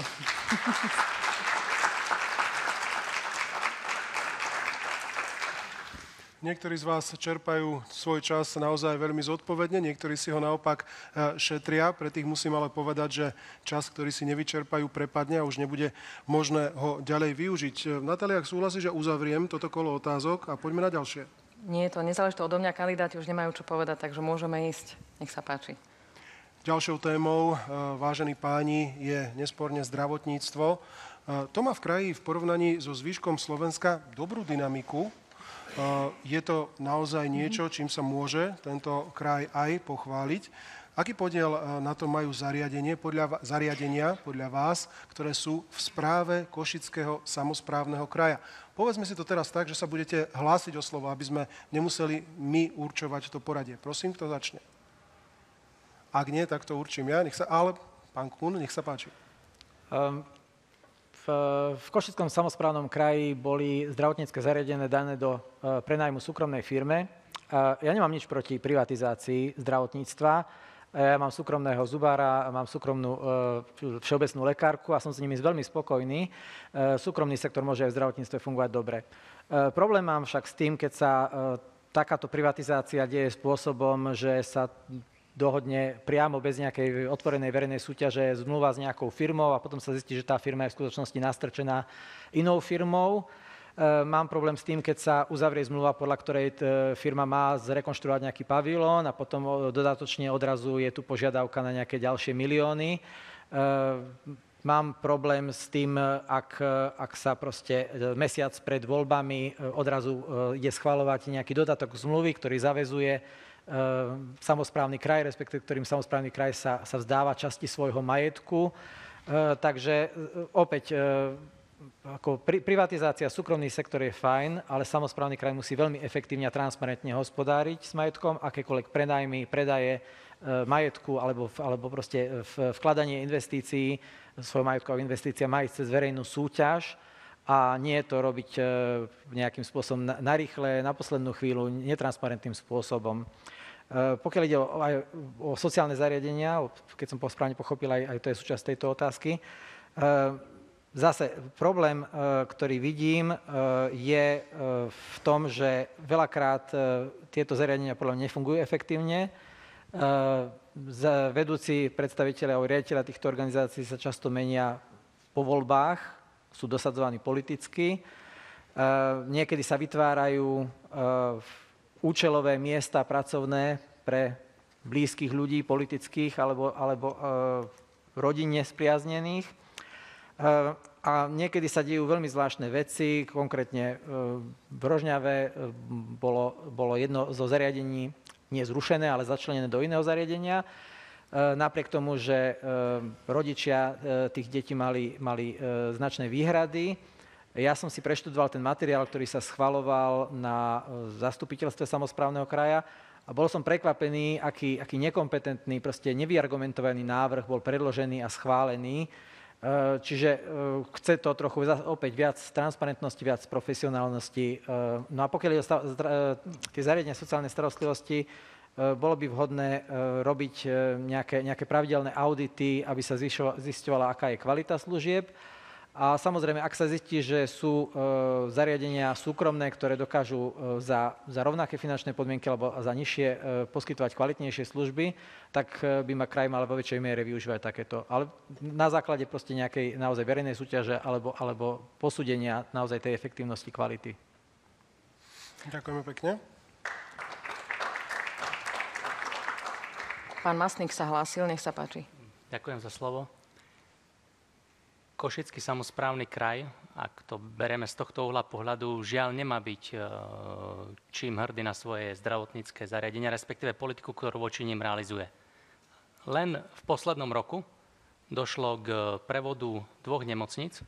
Nemocnice v Moldave a nemocnice v Michalovciach, respektíve projektu nemocnice v Michalovciach z majetku samozprávneho kraja. Pri nemocnice v Moldave, e, podľa odhadov expertov, je tento e, prevod jednak e, z ekonomického hľadiska veľmi otázny. Odhaduje sa manko, respektíve strata príjmu vo výške 1 až 2 milióna eur. Ešte lepším príkladom nehospodárnosti nakladania v tejto oblasti je prípad nemocnice v Michalovciach, teda toho projektu, keď sa na základe istých čudesných e, dôvodov, údajne statických, údajne neviem akých, v každom prípade neboli žiadne v prospech iného riešenia, majetok na základe navyše dokumentu, ktorý sa nazýva umyselne hmlisto, zrejme akési memorandum, pričom je to zmluva o budúcej zmluve, ktorá je vynutiteľná a tak ďalej, prevádza na súkromného investora. Zároveň dochádza k pravdepodobne úbytku majetku, ktoré podľa názoru mnohých expertov možno vyčísliť na 10 miliónov eur, nakoľko istou relatívne ľahkou konverziou e, pozemkov na stavebné, jednoducho tie pozemky, ktoré prechádzajú mm. na súkromného investora, nadobudnú túto hodnotu. Hej, takže toto je... zastavil, e, pochopil som už aj z kulantného vyjadrenia pána Kúna, že hovoríte o dostavbe pavilónu v Michalovciach, ale celkom dobre vám nerozumiem. Na jednej strane nie ste proti privatizácii, aspoň tak sa vyjadril pán Kún. Ak som správne čítal to memorandum, má tam byť preinvestovaných 30 miliónov eur Účasť e, samozprávneho kraja má byť 5 miliónov eur. E, čisto laicky sa mi to zdá ako e, pomer, ktorý by mohol byť realizovaný veľmi dobre a vhodne. Plus faktom je, že tá stavba bola dlho zakonzervovaná, to znamená, určite už neznesie tie parametre, ktoré na ňu boli kladené ako na stavbu novú. Nech sa páči. Tam je toľko vecí, ktoré jednoducho nebudem môcť odkomentovať v zvyšnom časovom limite, ale Jednoducho tento transfer sa udial v nejakom časovom okamihu bez nejakej hĺbšej odbornej diskusie, tesne pred voľbami. Ohľadom e, nesplňania parametrov sú kladené zo strany odborníkov takisto veľké otázniky. Memorandum, dobre, prevádza sa istý majetok kraja, zrejme nevhodným, e, nehospodárnym spôsobom. Kraj údajne nadobúda e, nejaké posty v dozornej rade. Vieme si všetci predstaviť, akým spôsobom to bude reálne E, využívať. A hlavná, hlavná, hlavný paradox celého tohto, tejto záležitosti je, že predstaviteľia Smeru, ktorí chcú zoštátňovať, podstate pod zámienkou alebo pod skrývkou zefektívňovania a tak ďalej, čo v zásade my schvaľujeme, de facto privatizujú tento majetok. My sa tomu samozrejme nebránime, avšak my sa tomu samozrejme principiálne vôbec nebránime, prirodzene, avšak bez diskusie, bez možnosti vyjadrenia odborných názorov, tých pár vecí ohľadom statiky, pár iných statikov majú jednoducho iný názor a tak ďalej a tak ďalej. Ako by ste ten dostavbu, transfer... Pardon, ako by ste dostavbu realizovali vy? Môžete aj tú myšlienku. Ja hovorím v prvom rade to, že sa to nemalo týmto spôsobom robiť. Hej. Tá, táto stavba je jednoducho realizovaná od roku 1998 Jednoducho to trvá, trvá to už 15 rokov a zrazu to potrebujeme okamžite pred voľbami riešiť. A samozrejme, predseda samozprávneho kraja veľmi urgentne podpíše príslušné dokumenty. Pán Kun sa hlásil, nech sa páči. Ja len zareagujem na, ten váš komentár, že, teda, či, že to vyzerá ako výhodný biznis. No problém je v tom, že bola predtým podpísaná zmluva o prenájme týchto zariadení, v ktorých sa ten investor zaviazal, že zrekonštruuje ten, ten pavilon. Prečo si vtedy nespravil statický posudok? Čo je to za, za proste zodpovedného hospodára, ktorý sa zaviaže k niečomu a potom povie, ale my to nemôžeme urobiť, to, to nie. To je jeho problém. Mal si to vtedy dať zvážiť ako statický posudok, vtedy mal povedať, že ale toto nemôžeme dostávať. A nie teraz chcieť 5 miliónov a navyše v, v pozemkoch, ktoré možno, že majú dvojnásobnú hodnotu. Čiže toto je spôsob, s ktorým sa, e, ako neviem vôbec totožniť v žiadnom prípade. Ďakujem pekne. Ja chcem, chcem tiež doplniť kolegov Másnika Kúna, že v tom návrhu, ktorý bol preložený naozaj na poslednú chvíľu a vlastne len v piatok a v pondelok už sa rokovalo, tak eh, vstup eh, Košického samozprávneho kraja bol navrhovaný tak, že nie len teda výnosy z predaja majetku tých 5 miliónov, ale aj ďalšie pozemky, ktoré boli vyčíslené na zastupiteľstve, že majú hodnotu 10,5 milióna eur. Čiže toto je nevýhodné, keďže v novej akciovej spoločnosti v tom návrhu má mať samozprávny kraj len 19%, mesto Michalovce 1% a Svet zdravia 80%. Čiže tam je tá nevýhodnosť. Určite tiež nie som za to, aby keď e, samozrejme kraj vstupuje do akciovej spoločnosti, aby vstupoval za takto evidentne nevýhodných podmienok. Ďakujem pekne.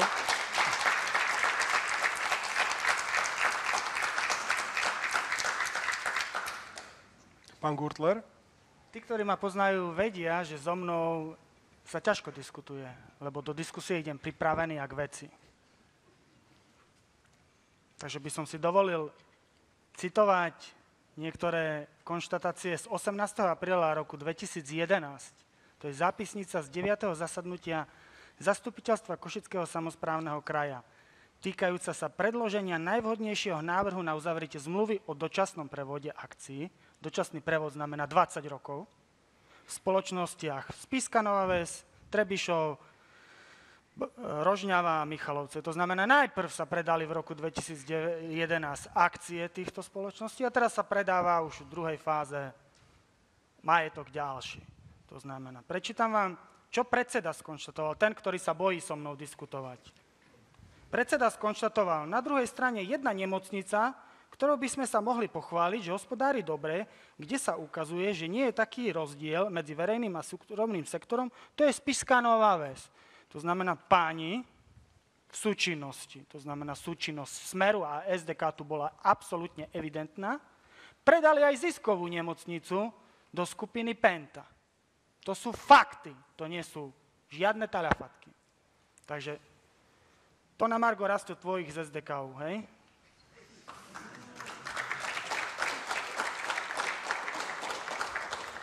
A v súvislosti, a v súvislosti s prevodom tých akcií istý pán tam skonštatoval. Hodnotiť to, že keď dnes sa rozhodneme tak, ako je návrh predložený, že či to bolo dobré alebo nie, je toho názoru, že sa bude dať až v budúcnosti, až o nejaký čas, možno až o pár rokov, že sa nedá to urobiť hneď, pretože to bude závisieť od detajlov zmluvy, ktoré dnes ešte nevidíme. Dodal však, že predložený návrh na uznesenie podporí pán kolega Bauer. Takže pán kolega Bauer, vy ste bol poslanec a stále ste poslanec Košického samozprávneho kraja a vy ste hlasoval, že jediný, ktorý hlasoval proti, bol jeden pán, nemenujem. Ale vy ste to nebol, vy ste hlasoval za. Že? Tak čo tu teraz mutíte vodu? Mutíte tú vodu sedem statočných. Je proti tomu, je proti sa, že nebudeme používať, či pán sú zo Gurtler, Smeru, alebo z SDK, alebo z. Gurtler, 20 rokov. ak dovolíte, dohodli sme sa, že nebudeme používať uh, vzájomné osočovanie. Pán Bauer má možnosť zareagovať, ak uh, si to žiada. Nech sa páči, ano, ak nie. Ano, hlasoval som za, lebo vtedy tá zmluva e, nebola nevýhodná. Ale to, čo je teraz v súvislosti s Michalovskou nemocnicou, to je evidentne nevýhodné pre samozprávny kraj. Čiže ja som kritizoval tento návrh. Môžeme aj k ďalším? Nech sa páči, samozrejme. K sociálnej oblasti, aby som sa mohol vyjadriť, samozrejme, že si myslím, že je potrebné zvyšovať kvalitu sociálnych služieb. Si myslím, že by bolo dobré trošku začať venovať väčšiu pozornosť aj rodine ako takej a rodinám s deťmi. Čiže jeden konkrétny návrh, ktorý mám pripravený, je napríklad zriadiť poradenské centrum pre, pre rodinu, hlavne ako komplexné poradenské centrum, ale aj pracovné poradenstvo, hlavne pre nízkopríjmové rodiny. To si myslím, že by bolo dobré sa začať tomu venovať. Takisto opatrovateľská opatrovateľská služba, ktorú ešte v 2005-2006 financoval samozprávny kraj, ale, ale potom prestal a stále ide menej peňazí vlastne pre aj subjekty, neverejné subjekty, ktoré, ktoré poskytujú túto službu a ktoré ju poskytujú dobre a, a kvalitne, tak eh, v tomto si myslím, že, že žiada sa zmena, zmeniť trošku prístup a rovný prístup ku všetkým, ktorí povedzme vedia poskytovať kvalitu v týchto službách. Ďakujem.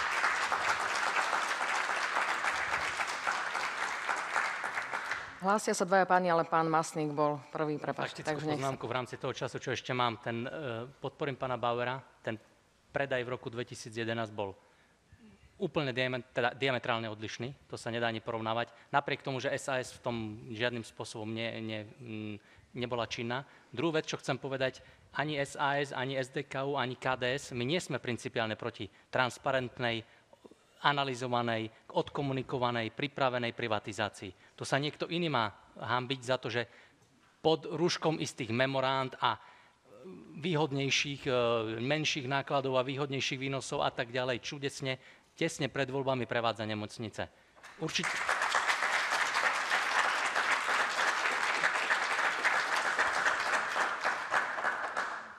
Ešte pán, prepáčte, pán Holečko ešte bol keď dovolíte, ja si myslím, tento problém, alebo táto debata, ktorá sa tu rozvinula okolo jedného zariadenia, nie je problém riešiť, pokiaľ budeme zvolení.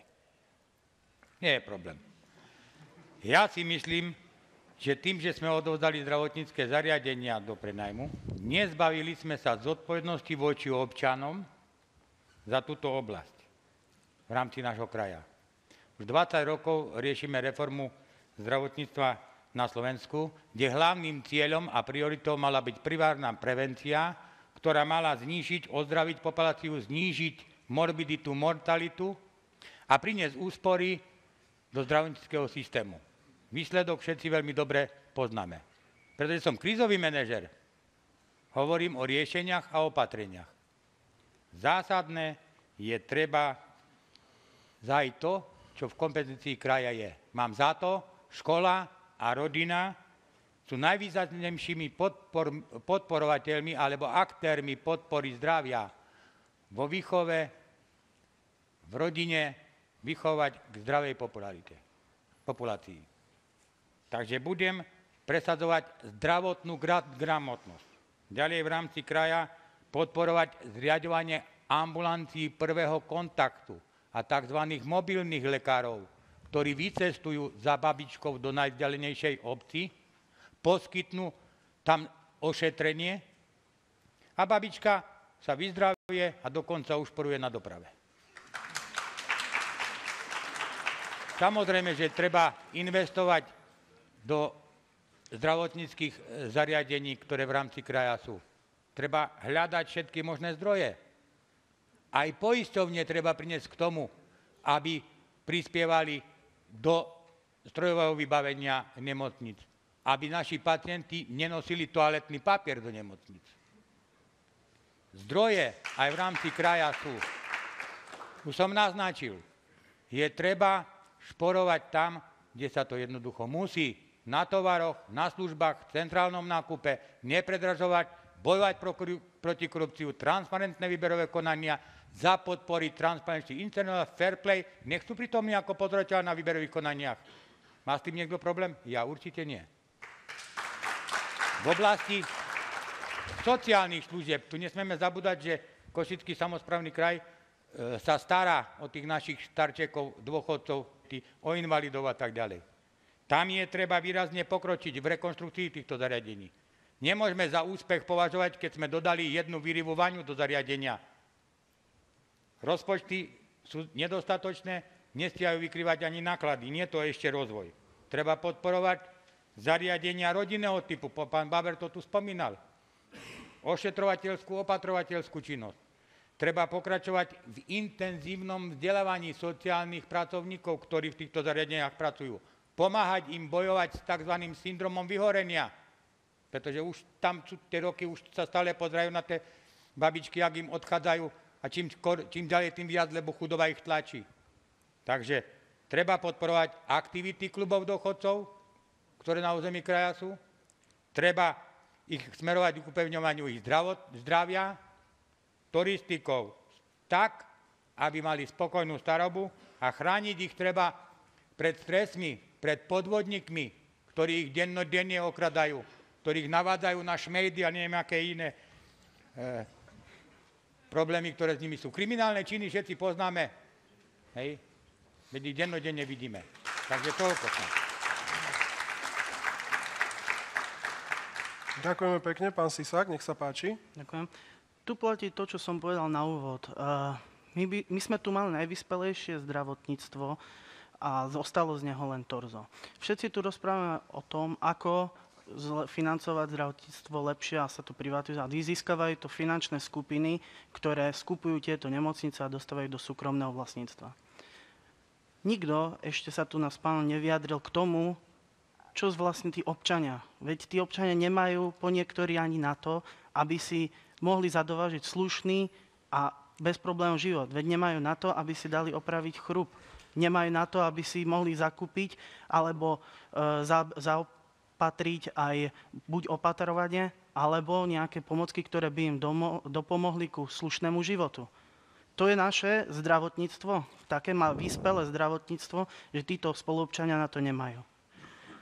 My musíme urobiť hlavne to, aby naši spoluobčania, ktorí majú tieto problémy existenčné, aby dostali adekvátnu zdravotníckú starostlivosť a to vytvoriť aj ambulancie pre sociálne slabých ľudí. Aspoň nevyhnutné to, čo im patrí. Zo zákona zdravotné poisťovne nepreplácajú väčšinu zdravotníckých e, pomocok. Taký chrup si má urobiť nejaký e, dôchodca alebo e, nezamestnaný človek a ho to vychádza pomaly na 200-300 eur. Tomu rozumiem, pán Sisak, ale ste si istí, že to patrí do kompetencie vyššieho územného celku?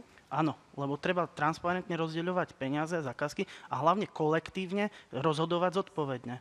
Lebo pokiaľ budeme predávať tieto zariadenia zdravotnícke súkromným spoločnostiam, tak to zdravotníctvo tu na nikdy nebude bezplatné a títo ľudia si nebudú môcť dovoliť adekvátne, slušné zdravotné ošetrenie.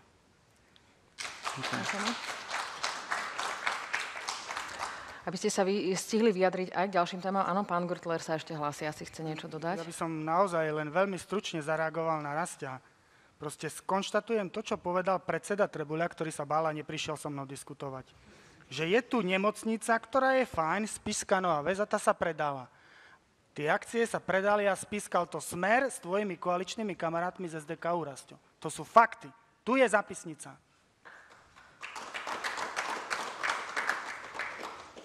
Dobre, veľmi pekne ďakujem. V tejto chvíli dajme si trocha e, malú pauzu od diskusie. Pán Masník, ešte predsa, nech sa páči. Zareagovať. E, poprvé SAS pritom nebola. Po druhej, pokiaľ si pamätám, okrem jedného poslanca všetci hlasovali za. A po nejakej tej debate, ktorá napríklad teraz nebola. 42 poslancov za, proti jeden poslanec, zdržalo sa 7. Je to príliš špecifická téma, nie, neviem, prečo nie vyberáš To sú fakty, Rastio, to sú fakty. A ja tebe nehovorím okay. nič o SAS. Tvoji koaličníci z SDK to spískali so Smerom. Predali to skupine Penta. To sú fakty. Dobre. Pani, dohodli sme sa, pán Gurtler, naozaj druhýkrát vás upozorňujem, že nebudeme používať e, osobné invektívy. Navyše, myslím si, že je to trocha e, kontraproduktívne voči ľuďom, ktorí e, tu nie sú. Ospravedlnili sa. Dámy a páni, pri televíznych obrazovkách, aby si naši kandidáti mohli malú chvíľu oddychnúť, Prezradím vám, aké sú zatiaľ priebežné výsledky hlasovania SMS správami v tejto dnešnej diskusii. Máte stále možnosť pokračovať v tomto SMS hlasovaní. Zatiaľ to vyzerá tak, že najviac ľudí presvedčil pán Rudolf Bauer, 24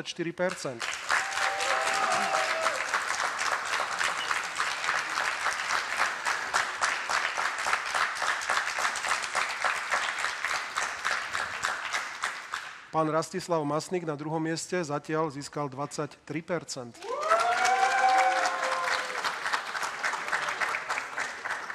Na treťom mieste je zatiaľ pán Lukáš Sisák s 22% Tretí je pán Ivan Kún so 17. Pardon, štvrtý. Na štvrtom mieste je pán Ivan Kún so 17 percentami. E, ďalej pán Jozef Holečko s 8 percentami. Pán Vladimír Gurtler s 5 percentami. A na záver je to zatiaľ pán Jaroslav Džunko s 1%. Pripomeňme, áno, nech sa páči. Pripomeňme, že ide zatiaľ o naozaj priebežné výsledky SMS hlasovania, takže stále máte možnosť podporiť svojho kandidáta zaslaním SMS správy na číslo 6675 s kódom kandidáta, ktorého podporujete. Ten kód vidíte v dolnom riadku na vašej obrazovke. Peter, poďme asi ďalej na ďalšiu tému, aká je. Veľmi rád, Natália, je to téma, ktorá je viacerým kandidátom veľmi blízka, už ju spomínali aj v iných okruhoch otázok, a to je školstvo. Pani, narazil som na jeden paradox, keď som počúval odborníkov, najmä odborníkov z ekonomických univerzít, že Napriek tomu, že sú v tomto kraji až tri univerzity, ja viem, že nepatria do pôsobnosti vyšších územných celkov, Napriek tomu je rast vzdelanostnej úrovne v tomto kraji v rámci Slovenska druhý najpomalší. Ako si to vysvetľujete? Kto by mi na to vedel odpovedať? Jednoducho sme mudrí. Nech sa páči, pán Holečko, na hlas. Jednoducho sme mudrí, východniari. Ja by som to konštatovanie zopakoval. Napriek tomu, že sú v kraji tri univerzity, je rast vzdelanostnej úrovne v kraji v rámci Slovenska druhý najpomalší. To znamená, to príliš nesvedčí o vašich slovách. Kto ďalší by chcel na to reagovať? No, ke, keď môžem, je, je to určite aj tým, že mnohí, ktorí tu vyštudujú, majú vysokoškolské vzdelanie, nezostanú v tomto regióne, ale odchádzajú či na západ Slovenska alebo do zahraničia a preto v tých štatistikách zrejme už, už tam nefigurujú tak e, je možné, že, aj, že toto je jedno vysvetlenie. Mhm, ďakujeme pekne. Páni, ešte niekto chce? Mhm. Ja Nech sa, sa chcem hlásiť, lebo v predchádzajúcej téme zdravotníctvo ste mi nedali slovo, hoci som sa no, na vás pozeral. Sa, takže... Ale nehlasili ste sa, nech sa páči. No nehlasil som sa, len som sa na vás pozeral, takže teraz sa budem hlásiť ako škole. Ja som myslel, že sa pozeráte na moju kolegyňu. No, aj to som si si to inak vysvetlil.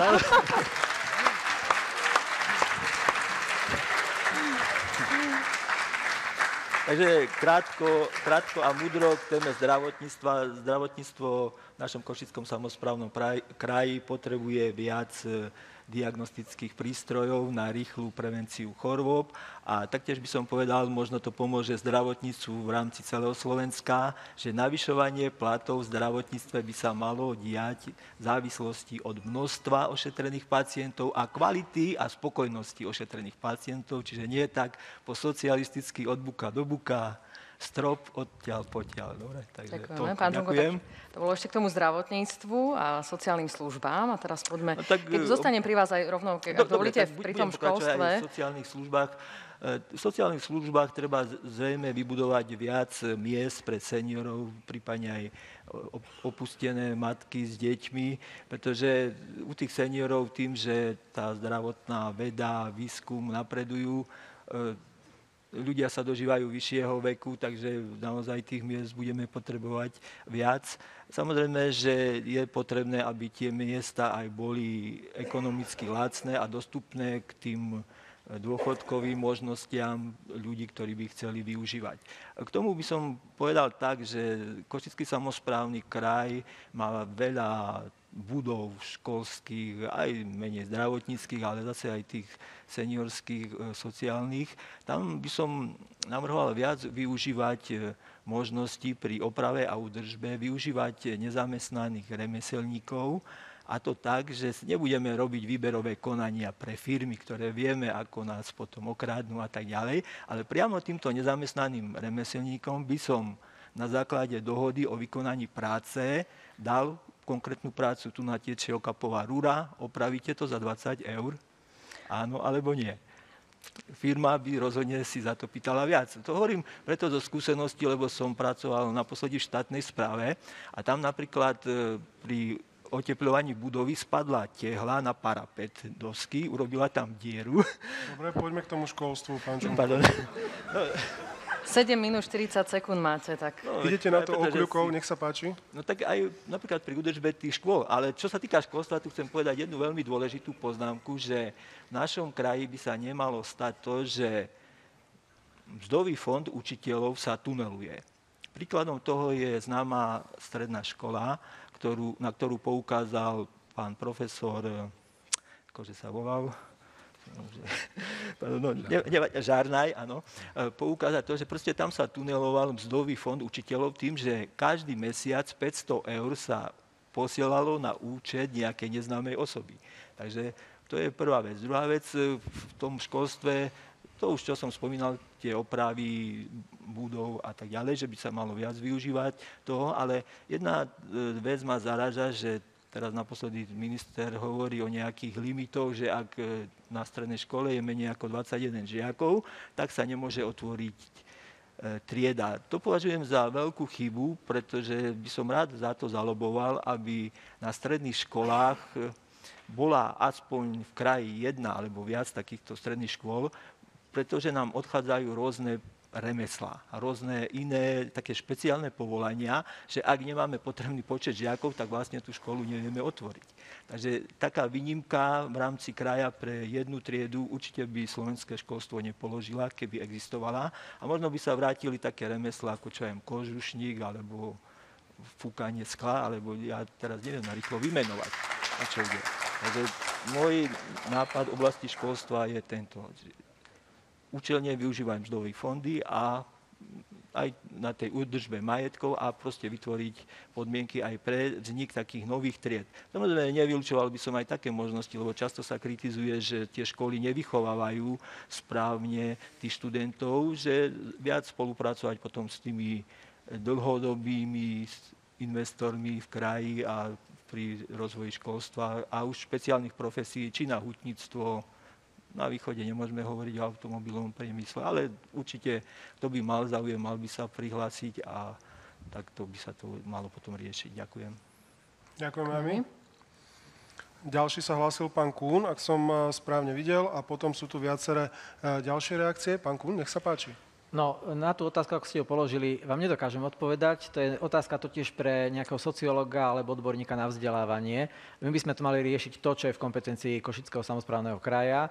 To sú stredné školy. E, pokiaľ ide o stredné školy, e, myslím si, že chyba na Slovensku, nielen v Košickom samozprávnom kraji, ale vôbec na Slovensku, jedna vec a to je pravidelné hodnotenie kvality vzdelávania. E, viem napríklad, že v Británii sa to robí už niekoľko rokov, robí sa to každý rok a má to ten dosah, že veľakrát sa rodiny stiahujú e, do tých miest alebo do tých častí miest, kde je kvalitná škola. Pretože vedia, že, že investícia do vzdelania pre deti je, je veľmi dôležitá. Čiže toto by som e, určite rád e, zaviedol, nejaké hodnotenie, aby, aby proste rodičia vedeli, ešte predtým, ako dajú svoje dieťa na strednú školu, lebo väčšinou o tom spolu rozhodujú alebo do veľkej miery rozhodujú rodičia, aby vedeli, e, aká je tá škola kvalitná, napríklad z pohľadu toho, ako sa tí ľudia dokážu zamestnať, koľko z tých detí skončí na úrade práce a koľko dokáže, dokáže e, sa zamestnať alebo podnikať a koľko sa dostane na vysokú školu a aj to na akú školu, lebo e, nie je vysoká škola ako vysoká škola. Ďalšia vec, ktorá by sa mala robiť, a vlastne toto už bolo, naznačené, Eh, možno, že už budem vyzerať ako nejaký papagaj, ktorý stále hovorí o transparentnosti, efektívnosti, ale ten príklad, ktorý tu bol spomenutý e, s, s tou školou e, s, m, obchodnej akadémie na, na Polárnej e, ulici, no ono to možno, že na príklad znie, že to je taký nejaký úlet, taký nejaký, nejaký e, nezaujímavý prípad, ale ja sa obávam, že toto je, toto je niečo, čo vyplávalo na povrch a množstvo takýchto nejakých podobných prípadov ešte je pod povrchom. A má to, má to niekoľko rozmerov. Ten prvý rozmer je ten ekonomický, že e, nejaká škola platí paušál, e, a nie je to jediná škola, pokiaľ viem, v samozprávnom kraji, ktorá platila paušál bez ohľadu na to, či potrebovala právnika alebo nie, čo je jednoznačne neefektívne využívanie financií. Potom otázka je, ako prebehlo to, to verejné obstarávanie. Predpokladám, že to štandardnou metódou, teda oslovenie troch subjektov, ktoré sa navzájom dohodli, alebo, alebo tak nejak. Tak to u nás chodí. Potom je to ešte ďalší rozmer, že ak sa nájde slušný človek, ktorý na to upozorní, ktorý osloví úrad samozprávneho kraja, že teda je tu nejaký problém a treba to presúvať, tak príde o zamestnanie. A to je proste niečo, niečo nehorázne, ako toto, a ak sa to stane na strednej škole, no jednak to má vplyv na tých ostatných učiteľov, ktorý učiteľ, a čo bol výsledok? Výsledok bol ten, že e, vedúci odboru školstva na úrade samozprávneho kraja, ktorý to v podstate odporúčil v úvodzovkách riaditeľom, je na svojej funkcii, riaditeľ je na svojej funkcii a učiteľ, ktorý poukázal na neefektívne vynakladanie prostriedkov, prišiel o zamestnanie. No, všetci učiteľia v samozprávnom kraji sa začnú báť, poukazovať na, na problémy a aj tie deti, tie, tí študenti e, na tých školách budú mať prípad, že vidíte, neoplatí sa otvoriť si ústa a kritizovať, lebo zle dopadnete. A toto teda ako je radi- potrebné radikálne riešiť. A ja sa nečudujem, že pán Trebola sem neprišiel, lebo mi musel odpovedať na veľmi nepríjemné otázky.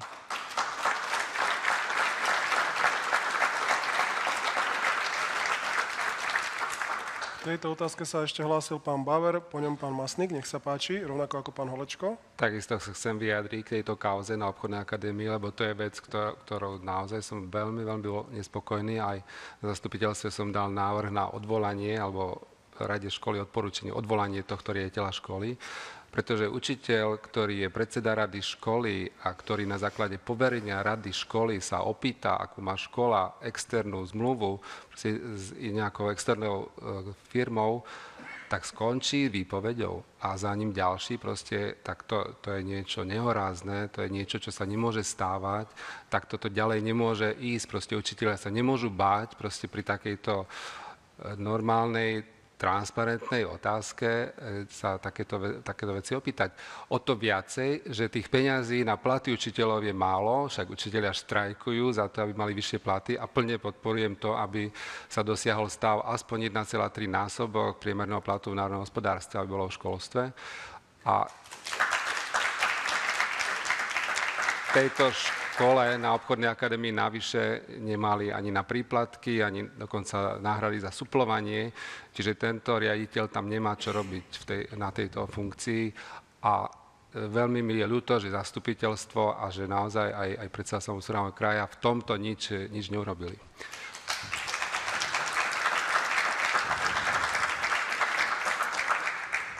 Už ste dokončili pán Masník, potom pán Holečko a ešte sa hlási aj pán Žunko. Veľmi v krátkosti chcem dôrazne podporiť eh, jednak vyjadrenia pána Kuna aj pána Bauera. A ja som v kontakte s pánom Žarnajom a tiež to sa snažíme aj právne riešiť.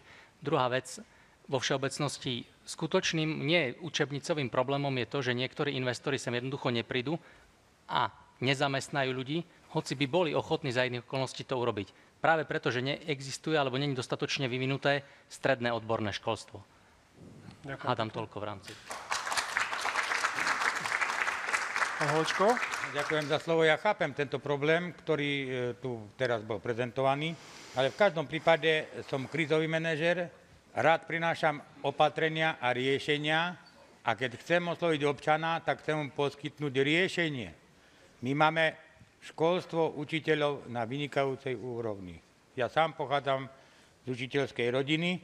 Naši učiteľa sú kvalitne pedagogicky vzdelaní, neboja sa inovácií, len im treba dať patričnú úctu, primeraný plat, ktorú si zaslúžia, nezaťažovať ich byrokratickými výkazmi, administratívou, zbytočnosťami, ale naopak oceniť ich ťažkú prácu, pretože tú prácu robia pre naše deti, pre, na, pre mojich vnúkov, pre vašich vnúkov.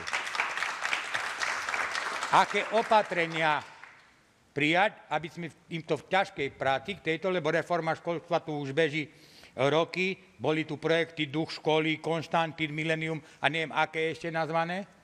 Ako im pomôcť? Zaviesť spolupráci so zamestnávateľmi, v každom prípade s úradmi práce, personálnymi úradmi, je treba chybajúci funkčný systém zisťovania a prognozovania potrieb trhu, ktorý by zabezpečoval spätnú väzbu pre vzdelávací systém, najmä stredného školstva, učňov, učňovky a tak ďalej. Toto mám na mysli. Lebo dneska školy nemajú tú spätnú väzbu. Treba školy otvoriť. Otvoriť školy tak a prepojiť ich s okolitým prostredím a so spoločnosťou. Samozrejme, školy musia plniť, a ja im tom budem účinne pomáhať, ich základný cieľ. To znamená učiť naše deti, stredoškolákov, prejsť od faktografického učenia k rozvoju kľúčových kompetencií. Treba stačí sa pozrieť na e, projekty Európskej únie a tam je jasne menované, čo treba učiť. Tých známych 9 bodov. Pani učiteľia vedia, o čom rozprávam.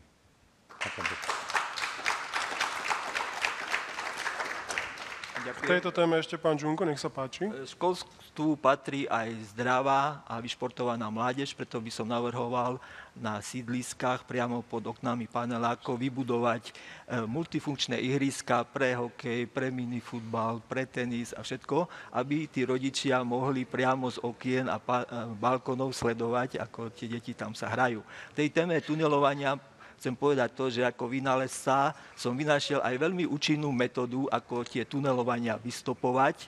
Dá sa, kto to robil, môže sa tešiť, to sa nedá zakryť, ale nebudem to prezrádzať verejne. Ďakujem. Ďakujem pekne. Postupne ešte pán Gurtler a pán Bauer. Ja by som sa veľmi stručne vyjadril k pánovi Žarnelovi, o ktorom veľa ľudí rozpráva, ale keď má prísť na lámanie chleba, nikto mu nepomohol. Je to paradox tejto doby naozaj, že tento pán je prepustený. Je to v školskom systéme, kde je 71 riaditeľov, ktorí sú v, priamej kompetencii a pôsobnosti samozprávneho kraja. To znamená, oni sú existenčne závislí na tom, či pán Trebuľa ich tam nechá, alebo ich tam vyhodí. A to je ten paradox tej doby, ktorá sa týka nielen štátnej správy. Ja teraz poviem, čo sa udialo nám ako 700-točným. Požiadali sme o billboard, ktorý sa čiastočne dotýkal pána billboardu. A súkromná firma nám odmietla ho vylepiť, lebo sa bojí. Toto nemôže sa ďalej udiať, aby sa títo ľudia zabetonovali a normálni ľudia sa báli povedať nielen v štátnej správe, ale už aj súkromnej firmy sa boja, lebo niekto obsadil všetky inštitúcie, všetky funkcie v rámci tohto štátu a regiónu. A smer región ničí, to zdôrazňujem.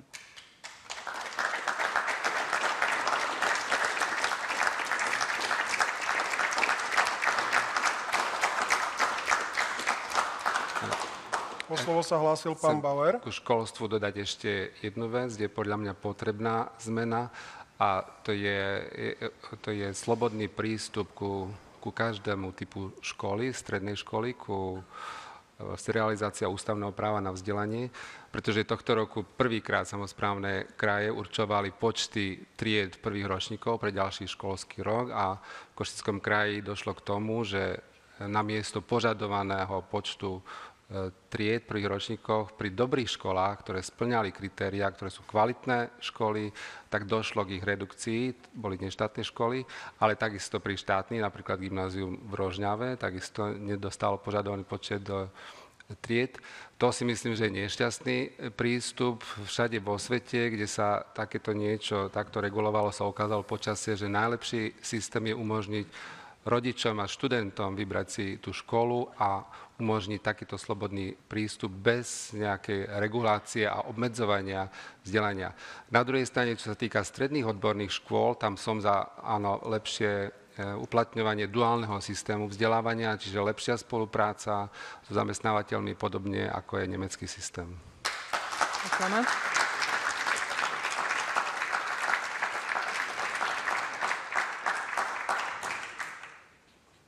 Tak bola to naozaj vyčerpávajúca téma, napokon aj všetky predchádzajúce. Poďme na ďalšiu, Peter. Áno, ja si takisto myslím, že sme už e, tému školstvo e, mohli uzavrieť. E, ďalšou témou... Uvidíme, či zamieša kartami a SMS hlasovaním. No, je to zaujímavá téma, udržba ciest, infraštruktúra, rozvoj cestovného ruchu. Určite viacerí z vás, páni, k tomu majú čo dodať. Natália, my sme boli nedávno v Prešove, tam áno, ľudia áno. zaujímaví, uh, hovorili niečo veľmi zaujímavé. Zaujímavé, keď môžeme teda povedať, určite to aj chceme, tak tvrdili nám, že ich cesty sú v lepšom stave ako tie vaše. Súhlasíte s tým, páni? Kto začne? Pán Žunko prikyvuje, tak tak, dobre. Povedzte nám. Tú tému CIE som začal už v úvode, keď som hovoril, ako zvyšiť nezamestnanosť pri stavbe tých cestných tunelov. A samozrejme, ako vynálezca mám aj nápady, ako vylepšiť asfalt, aby ten povrch CIE sa tak rýchlo neopotreboval. Už také aj tie jednoduché opravy výtlkov, aj tam môže nastúpiť mechanizácia. Nielen tam niekto bude dupať ten asfalt, ako to sme videli v televízii. E, mám aj nápady, ako proste konečne odstrániť z chodníkov dažďové kalúže. No ale chcel by som povedať to, že veľmi ma mrzí pri tých našich cestách, pretože aj mne sa stala v noci dopravná nehoda, keď mi e, proste jelenica vyskočila, takže v tých cestách Košického samozprávneho kraja je veľmi veľa okolo ciest zelene, kde v noci naozaj tá divá zver vyskakuje na cesty, takže budem sa snažiť, aby aspoň 10 metrov od cesty to bolo ostránené, pretože potom už e, ten vodič má lepší prehľad na tú cestu, či sa tam nachádza nejaká, proste ten neočakávaný stred s tou divou zverou. Dovolte mi predsa len upresniť tú otázku. Súhlasíte s tým, že v Prešovskom kraji sú lepšie cesty ako v Košickom? Áno, ja chodím 120 kilometrov e, aj cez Prešovský kraj k návšteve príbuzných, takže sú tam lepšie, pretože majú lepšiu povrchovú údržbu ciest, čo v Košickom kraji sa uplatňuje iná technológia. Tam platí, že čo okres, to iná technológia údržby povrchu ciest a preto je tam kvalita naozaj lepšia. Ešte chcel by som povedať, že tým cestovaním súvisí aj potrebný počet parkovacích miest. Mám tiež také úmysle navrhnúť novú technológiu, ako nad existujúcimi parkoviskami vybudovať jednoduché podlažie pre ďalšie parkovanie aut. A dokonca by som bol za to, aby v mestách na majetku, na majetku obcí, hej, teda v verejnom priestranstve si aj súkromná osoba mohla vybudovať ekologické parkovisko. Veľmi jednoducho, ako by to vyzeralo. Poznáme všetci dobre betónovú drenáž s takými otvormi pre E, prepuštenie vody a z ktorého môže aj travička vyrastať a veľa toho parkoviska by museli byť zasadené aspoň dva stromy. Jednak pre kyslík a druhá výhoda je robia tieň pre to auto. Tak zatiaľ ďakujem. Pán Sisak sa hlási do diskusie, nech sa páči. No, tak vlastne udržba cestná infraštruktúra, cestovný ruch je, súvisí vlastne s každou z týchto tém pomaly a to je to, to isté, že netransparentné rozdeľovanie peňazí a zákazok. Tie milióny, ktoré sa netransparentne a nerozho- ne, nehospodárne rozkotúrňali hore, dole neprichádzajú a tým pádom kraj nemá ani veľmi z čoho opravy ciest, keď nemá dostatok financií na ostatné e, priority, ktoré sú dôležité. Pokiaľ by sme tie peniaze investovali do ciest, do cestnej infraštruktúry, tak určite sa nám zmení aj zdrav, e, spôsob školstva a to tým, že vlastne budú lepšie pristúpiť ciest do väčších miest, kde tieto stredné odborné školy sú a nemajú možnosť prichádzať po riadnych komunikáciách do väčších miest e, študenti, učiteľia, žiaci. E, je dosť dôležité tieto cesty druhej a, triedy, tre, tre, druhej a tretej triedy dať do poriadku. Sú ne, e, strašne zničené a je to katastrofálny stav. Hlavne v niektorých okresoch, ako je napríklad Spiska Nová Ves, Rožňava, Trebišov. Tie cesty sú fakt v katastrofálnom stave. Preto aj tie eurofondy, z ktorých môžeme čerpať peniaze, to nie je nič iné, len požičovanie si peňazí, ktoré potom časom budeme musieť aj tak splatiť a aj tak ešte s úrokmi na tom budeme prerábať. Preto znova opakujem, transparentné rozdeľovanie peňazí v krajoch a udeľovanie tam, kde sú dôležité, a nie dávať e, zaujímavým skupinám, veľkým, finančný, veľkým spoločnostiam, ktoré si tie peniaze ulievajú pre svoje spriaznené spoločnosti a pre svojich kamarátov do vrecka a potom neostáva na opravy ciest ani haliera, v podstate ani cent teraz už. Ďakujeme. Ďakujeme. Pán Holečko? Ďakujem. Nech sa páči, pán Bariso. Nie, môžete, nech sa páči. Ďakujem pekne za slovo. Doprava je môjmu srdcu blízka. Pracoval som v dopravnom podniku a týmto touto cestou pozdravujem svojich bývalých kolegov v Bratislave. Doprava je predsa krvou ekonomiky a infraštruktúra je jej tepnami. Tam musíme zamerať priority kraja. Netreba, alebo poviem takto, treba vietor chytiť do plachat a pripojiť sa k tej karpatskej stratégii, o ktorej sme počuli včera, alebo predšterom, že teda sa pripravuje a že v maji 2014 sa to už má spúšťať. Treba teda sa... Čo je potrebné urobiť akutne? Správy ciest musia mať vypracované reálne plány revízií a údržby ciest. Tieto jednoducho nie sú nastavené tak, aby boli reálne. Revízie sa robia povrchne. Výsledkom sú diery, vytlky na cestách. Platajú sa čižmami, nie technológiami, ktoré, ktoré teda sú na to určené a ktoré zabezpečia kvalitu aspoň na 10 až 15 rokov. Tie rekonštrukcie cest nie, nie, nie sú kvalitne spravené, pretože sú robené nepremyslené. Projektová dokumentácia je pripravovaná na poslednú chvíľu, i keď času je dosť, pretože keď bol riadny reálny plán, času i bolo dosť na to. Takže tam je treba urobiť. Ide zima. Kraj je vôbec pripravený na zimnú prevádzku? Alebo opäť budeme mať odrazané obce od sveta? Sú pripravené stroje, mechanizmy? je dostatočne pripravený kontrolný mechanizmus na to, aby nám posypače pluhy nejazdili so zdvihnutými radlicami len preto, že chcú ušporovať na PHM, ale potom ich vyfakturovať ako keby hrabali. Hej, s dvojnásobnou spotrebou PHM. Takže tam je ten problém. Tam je e, mrhanie našich finančných prostriedkov, ktoré občania dávajú. Plán dopravnej obslužnosti kraja treba prehodnotiť, pretože vozíme vzduch autobusmi do dedín. Tak si pozrime, 4-5 ľudí tam e, sedí v tom autobuse, pokiaľ príde do tej dedinky. Treba využiť nízkokapacitné, malokapacitné autobusy, prípadne aj mikrobusy, a ísť tam aj 5 krát, ale za menšiu spotrebu PHM s menšími nákladmi. Doprava musí byť zabezpečená aj do rómskych osad, pretože vieme, že sú niekedy 5 až 10 kilometrov vzdialené od toho e, sídliska alebo to, tej obce. V tých rómskych dedinách keď zabezpečíme dopravu, zabezpečíme dochádzku do školy, dochádzku do práce, dochádzku k lekárovi, zvýšime zdravie, vzdelanostnú úroveň toho etnika. Netreba sa bať, že rozbijú. Veď použijeme e, strážne služby, SBSky, ich rómske hľadky použijeme na to, nech strážia ten autobus, ale, ktorý bude tie deti nosiť. Takže aj tam ja vidím miesto pre dopravu. Samozrejme je treba v maximálnej možné miere využívať aj externé zdroje financovania z operačného programu Konkurencieschopnosť a hospodársky rast, podpora podnikateľských aktív v oblasti cestovného ruchu. Tam sa chceme ešte trošku toho chytiť. Treba, treba robiť, podporať investičné aktivity, e, tabule orientačne, tak, aby sme turistov priťahli do kraja. Podporovať budovanie partnerstiev medzi aktérmi cestovného ruchu.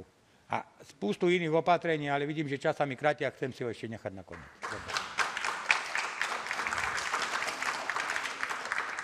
Pán Bauer sa hlasil o slovo, Chce. po ňom pán Kún. Cestám chcem povedať, že neviem posúdiť, či Prešovský, Košický kraj, kde sú lepšie cesty, ale naozaj niektoré cesty v našom kraji sú v katastrofálnom stave. Či je to Košická polianka krásna, alebo smerom na Hačavu, alebo Rudník, Zlatá Itka, alebo prístupná cesta k Ochtinskej aragonitovej jaskyni ako v katastrofálnom stave. Môže to byť spôsobené aj tým, že v prvom období, keď, keď sme začali e, riešiť cesty, tak ja som presadil, aby sa vytvoril tlak na kvalitu týchto prác pri oprave rekonstrukcii ciest a presadil som 10-ročné obdobie záruky, ako to už pán Holečko tu, tu dobre spomenul. V niektorých prípadoch sa podarilo 10-7 a toto je tlak na, na kvalitu Proste, pretože ten eh, dodávateľ si rozmyslí, keď, keď má o 3 roky, alebo tam vznikne nejaký problém, že to musí na vlastné náklady opraviť, že ako kvalitne to bude robiť a od toho sa odišlo. Žiaľ, čiže aj keď máme viacej peňazí teraz z európskych zdrojov, čo povedzme predtým nebolo, tak, tak stále je potrebné ich efektívne využívať, čiže napríklad aj, aj takýmito rozhodnutiami, ktoré sú strategické rozhodnutia, ktoré sa robia na, na úrovni zastupiteľstva. Ďalší problém je a dôležité rozhodnutie je, že naozaj treba dať e, prednosť tým e, e, uceleným úsekom a neopravovať bytlky a stále to, čo bolo toho roku v Košici, ale aj v iných mestách po zime, proste neskutočné množstvo bytlkov. Čiže áno, v tomto prípade to strategické rozhodnutie je, že, že dlhodobo, dlhodobo opravovať súvislé úseky, kde povedzme tie bytulky tak často nevznikajú a, a potom nedávať peniaze na, na opravu útulkov. Tretia vec, čo chcem povedať, je dal by som ešte väčší dôraz na, na bezpečnostné prvky, či kruhové objazdy, to sa osvedčilo v celom svete. Proste je to veľmi, veľmi dobrý bezpečnostný prvok, aj zrýchluje dopravu a ďalšie bezpečnostné prvky, ktoré je potrebné takisto do tej 2000 kilometrovej cestnej siete druhých, tretej, tretej, tretej, za ktorú je Košický kraj zodpovedný vnášať. Ďakujem.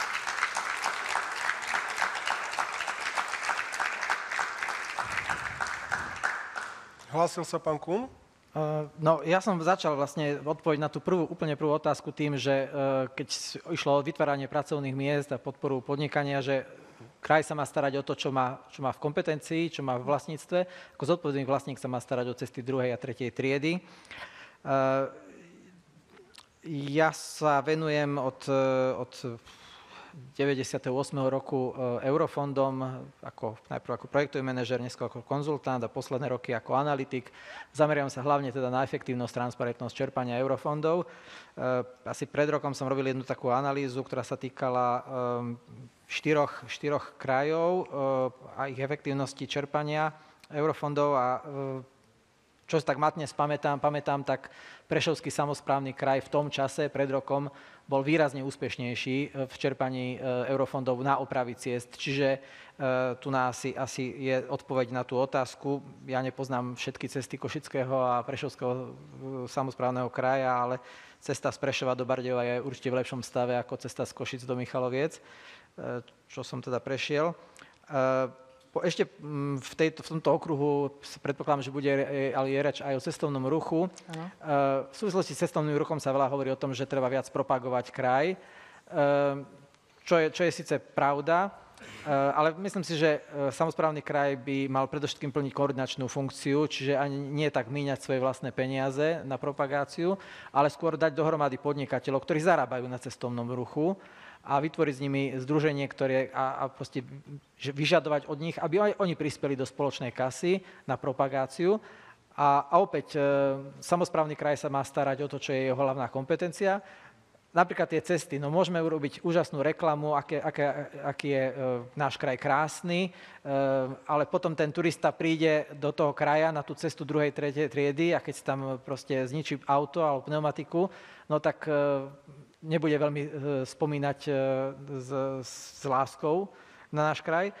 A potom e, treba riešiť také problémy, napríklad samozprávny kraj má, má nejaké múzea, konkrétne múzeum, Banické múzeum v Rožňave má peknú zbierku, ale, ale to múzeum vyzerá hrozne, pretože sa o ňo dlhé roky kraj nestaral patrične a v minulú sezónu dokonca nebol otvorený v letnej... Ste si vyčerpali svoj čas, pán Kun, ďakujem pekne, že ste ma na to upozornili, pán Holečko. Takže ďakujem veľmi pekne. A už nebudete mať k dispozícii žiaden čas na vyjadrenie. K tejto téme sa ešte hrási pán Görtler. E, opäť veľmi stručne a jasne. Druhé a, triedy druhé a, cesty druhej a tretej triedy môže opravovať niekto, kto má peniaze. Kto nemá peniaze, môže o tom len rozprávať. Väčšina ľudí len o tom rozpráva. Aj predseda, ktorý tu neprišiel, skonštatoval, že apeluje na poslancov Národnej rady, aby v rámci interpelácií túto otázku v Národnej rade otvorili. No neotvorili. A no. stále tu není vyriešená základná vec, ktorá priamo nadvezuje, alebo ešte predchádza cestám druhej a tretej triedy. A to je to, že za 25 rokov neboli títo neschopní politici, z ktorých žiaľ mnohí sú aj východňári, vybudovať diálnicu z Bratislavy do Košic. Bez tejto diálnice my môžeme rozprávať o regionálnom rozpo- rozvoji, o turistike a neviem čo, všetko len reči, reči, reči. To je opäť to najhoršie, čo je, že 25 rokov títo politici to neboli schopní urobiť, neboli vybudovať, schopní diálnicu z Bratislavy do Košic. A teraz zás niektorí, ktorí tam boli, už 20 rokov, budú hovoriť, že oni to teraz urobia. A čo robili 25 rokov do Pán Gurtler, výstavba diálnic veľmi dobre viete, že nepatrí do kompetencií vyšších územných celkov. Možno k tej téme Priamo nadvezuje na rozvoj druhej a tretej triedy by som mohol povedať, že bolo to práve na tlak županov, ktorí presadili, aby z ciest druhej a tretej triedy, alebo aby tie cesty boli, tieto cesty boli odbremenené od kamionovej dopravy. Je to pomerne čerstvá informácia. Nech sa páči, ak chcete, môžete dokončiť. To som chcel povedať, že diálnica priamo súvisí s rozvojom cestovného ruchu. Uh-huh. Košický Dukát a a rozvoj cestovného ruchu vzhľadom na diálnice. Ak nebudú tu na diálnice, tak veľmi ťažko budeme rozprávať o rozvoji cestovného ruchu. Ďakujem pekne. Ešte pán Žunko, nech sa páči. Ja len by som Bauer. to chcel povedať, že na pôde Technickej univerzity by sme neschopných politikov mali nazývať odbornejšie, že sú to vyhoreté politické paliva. Ďakujem.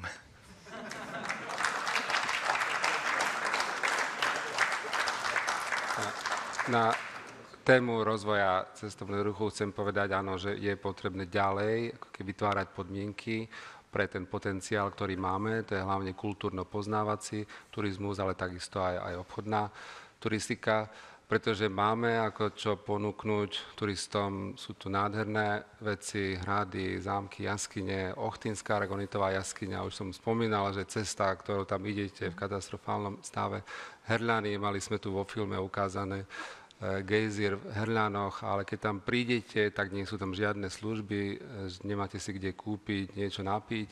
Čiže to, toto, je, toto je také neuvedomenie si tých súvislostí, ktoré sú veľmi dôležité, maličkosti, ktoré sú potrebné preto, aby ten turista, keď príde, aby mal zo všetkého dobrý dojem. Že učíme sa to pomaly na Slovensku, a, ale v Košickom kraji stále mhm. nejak, nejak najpomalšie. Čiže áno, je potrebné ďalej e, rozvíjať produkty, ktoré budú cielené na, na to, aby tí turisti prišli. Určite je veľmi, veľmi dobrý tento titul a projekt Európskeho mesto kultúry, pretože áno, to nás propaguje, kvôli tomu tu aj turisti chodia, nie je to len pre mesto Košice, ale je to pre, pre celý kraj, čiže to je veľmi dobrý impuls na, na rozvoj turizmu, ale eš, ešte možno viacej, sofistikovanejšie treba robiť aj tú cieľenú propagáciu, kraja alebo pozývanie tých e, túr operátorov, ktorí keď sem prídu a potom môžu ďalej o svojej krajine informovať o tom, čo videli, aké sú tu podmienky a takýmto spôsobom využiť ten potenciál, ktorý naozaj na rozvoj turizmu v Košickom kraji máme. Ďakujeme.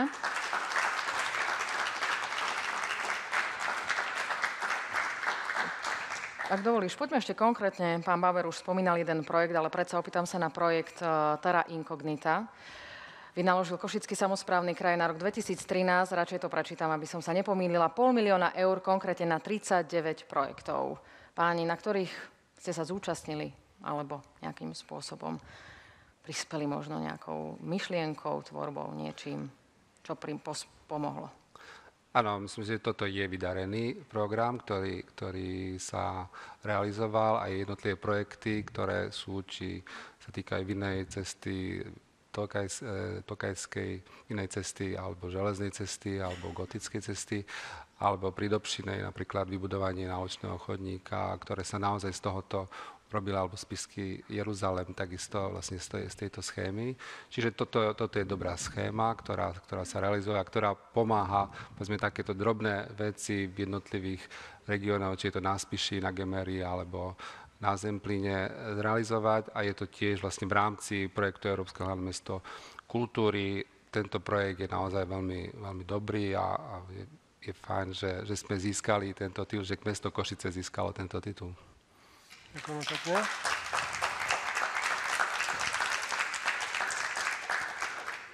Natália spomínala pol milióna eur na 39 projektov.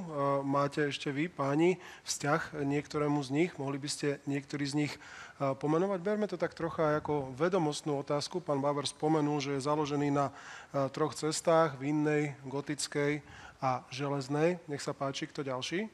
je to už posledná možnosť vyčerpať si svoj čas v rámci otázky infraštruktúra, respektíve cestovný ruch, pretože o malú chvíľu už túto tému uzavrieme a ten čas, ktorý ste si nechali na záver, vám prepadne. Ktorý z vás, nech sa páči, v rámci možno aj témy Európske hlavné mesto kultúry? Pán Masník? Ak to má prepadnúť, tak ja sa nejak v rámci toho času vyjadrím. E, Európske hlavné mesto kultúry je samozrejme vynikajúci projekt, ale zároveň je vynikajúcim príkladom toho, ako, sa tu, ako tu dochádza k rozvoju z externých zdrojov. Ten projekt by sa uskutočnil bez ohľadu na súčasného predsedu. K cestám hádam veľmi krátko medzi top 10 desiatimi najhoršími výtlkami vôbec v rámci Slovenska. Má Košický kraj 5 nádherných zástupcov, rovnú polovicu.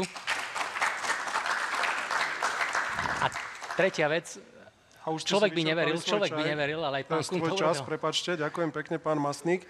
Bohužiaľ, už nemáte žiaden čas. Páni, nech sa páči, chcem sa opýtať, či ešte k téme cestovného ruchu, a respektíve k tej téme, ktorú a, otvorila Natália Terra Incognita v rámci a, projektu Európske hlavné mesto kultúry. Máte čo dodať? Pán Žonko Sisák. sa hlási. Pán Sisák? Ďakujem.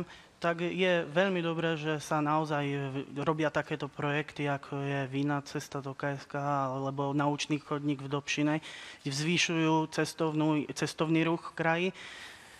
Ale je to málo. Košický kraj má o mnoho väčší potenciál na to, aby zvýšil svoj cestovný ruch a na to, aby prišli ľudia, občania, nielen zo Slovenska, ale z celého sveta, celej Európy sa zúčastniť, pozrieť sa na náš kraj a takto by sme získali fakt viac financií do cestovného ruchu, pokiaľ by sme naozaj tieto veci, ktoré sú dôležité, e, dokončili presne pri tejto téme a to je hlavne tá cestná infraštruktúra. Je veľa občanov na Slovensku alebo aj v našom Košickom kraji, ktorí by si chceli pozrieť napríklad od Rožňavy až po Michalovce a naopak si chcú pozrieť daný kraj. Bohužiaľ, keď si pozrieme konkrétne, povieme nejakú obec, tak dedinky, mlinky, hej, pri Dobšinej, veď majú tak katastrofickú cestu, že sa nemôžu dostať pomaly ani do svojho okresného mesta, do Rožňavy, aby si vybavil nejaké veci. Nie to ešte, aby išli potom cez, celú, e, cez celý Košický kraj, napríklad niekde na Zemplínsku šíravu alebo na Vinné jazero a tak. Čiže naozaj tá cestná infraštruktúra je veľmi dôležitá pre cestovný ruch a pokiaľ nebude spravená, tak budeme mať e, problémy s cestovným ruchom. Čo sa týka investovania e, financií, pol milióna eur je slušný peniaz na financovanie cestovného ruchu, ale je to naozaj málo. Lebo pokiaľ chceme zvýšiť úroveň, tak musí sa viac investovať do cestovného ruchu a to môžeme aj na základe aj spomínanou témou, aj so školstvom spojiť. Aj pokiaľ nebude záujem v školách, na stredných odborných školách o učebné odbory v oblasti cestovného ruchu, tak nebudeme mať ani môcť vytvárať ďalej podmienky pre rozširovanie cestovného ruchu, pokiaľ na to nebudeme mať kvalifikovaných ľudí. My musíme, za, my musíme zainvestovať aj v tom, aby sme mohli vytvárať kvalifikovaných a z, e, vychovávať kvalifikovaných ľudí na tento e, odbor. Ďalej, v katastrofálnom stave je slo, e, slovenské e, ho- hotelierstvo, reštauračné služby. Je toho strašne málo a už aj keď niekde sú, tak sú v dezolátnom stave alebo ne, nie sú, neposkytujú dostatočné kultúrne služby. Čiže to je zase spojené so školstvom. Pokiaľ vychováme dobrých kuchárov, čašníkov a hotelierov, budeme mať zase dobré, lepšie zariadenia na vytvorenie pozícií v oblasti cestovného ruchu. A mohli by sme ísť takto ďalej a ďalej v každom odveti, ktoré je dôležité. Preto by sa aj vytvárali, zase môžeme ďalšiu tému do toho spojiť, a to je vytváranie pracovných miest. Hej. Čím väčší cestovný ruch, čím rozšírenejší, tým viac pracovných miest. A proste všetko by bolo v poriadku, pokiaľ by boli transparentné rozdeľovanie financií v kraji a aby neutekali financie do vreciek súkromných e, spoločností, ktoré len potrebujú si uliať pre seba peniaze a vytvoria nejaký výborný projekt, ktorý len na vytvorenie e, znesie 50-70% investícií a na realizáciu toho projektu určí 25% maximálne a potom zistí, že nemá na dobudovanie projektu a nechá tento projekt zanedbaný v rozostávanom stave. Koľko máme v Košickom kraji e, budov, zariadení, ktoré chatrajú.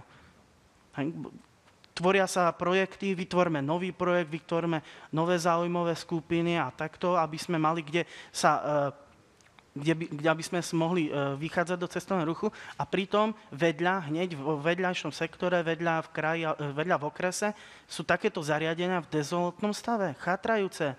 Nemá sa kto o nich postarať. Proste,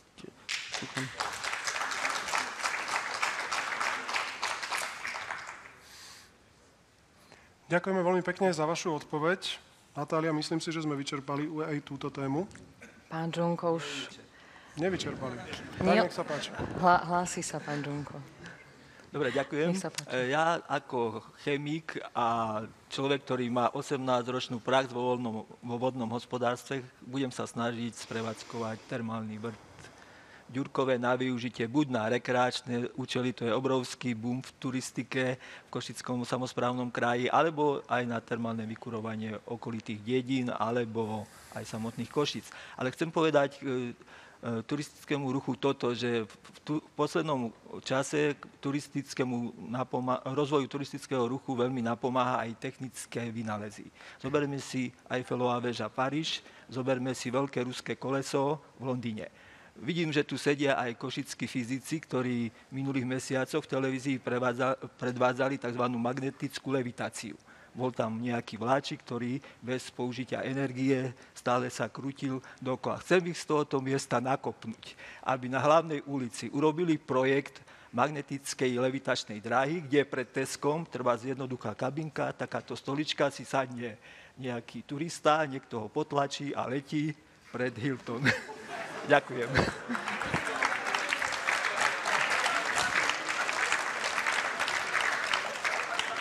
A chcem ešte to povedať, že čo by písali potom noviny, že Košice, Európske mesto kultúry, realizovalo ako na svete prvé magnetickú levitačnú drahu. To je proste svetová senzácia, ktorá tu určite ľudí priláka. Ďakujem.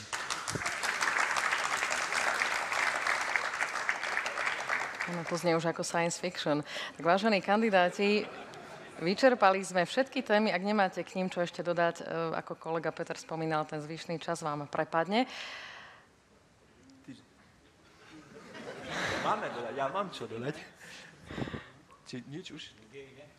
Prepačte, ak už nemáte k téme infraštruktúra, cestovný ruch čo dodať, ukončíme dnešnú diskusiu, zvyšný čas vám prepadá nebudete ho môcť ďalej využiť. Ak máte záujem ešte dodať niečo k témam infraštruktúra a cestovný ruch, nech sa vám páči.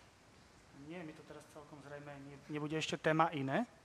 Nie, dnes sme mali stanovené témy, o ktorých sme vás informovali. Ukončujeme teda dnešnú diskusiu. Veľmi pekne ďakujem. Pán Holečko, ešte predsa len má 10 sekúnd. Ja tých posledných 10 sekúnd využijem priorom k občanom. Vážení občania, príďte k voľbám, voľte s rozumom, voľte nezávislosť, voľte netransparentnosť, voľte odbornosť. Voľte prácu, zdravie, spokojnosť, Ďakujeme voľte pekne, svoj čas ste si 5 vyčerpali. je záchrana.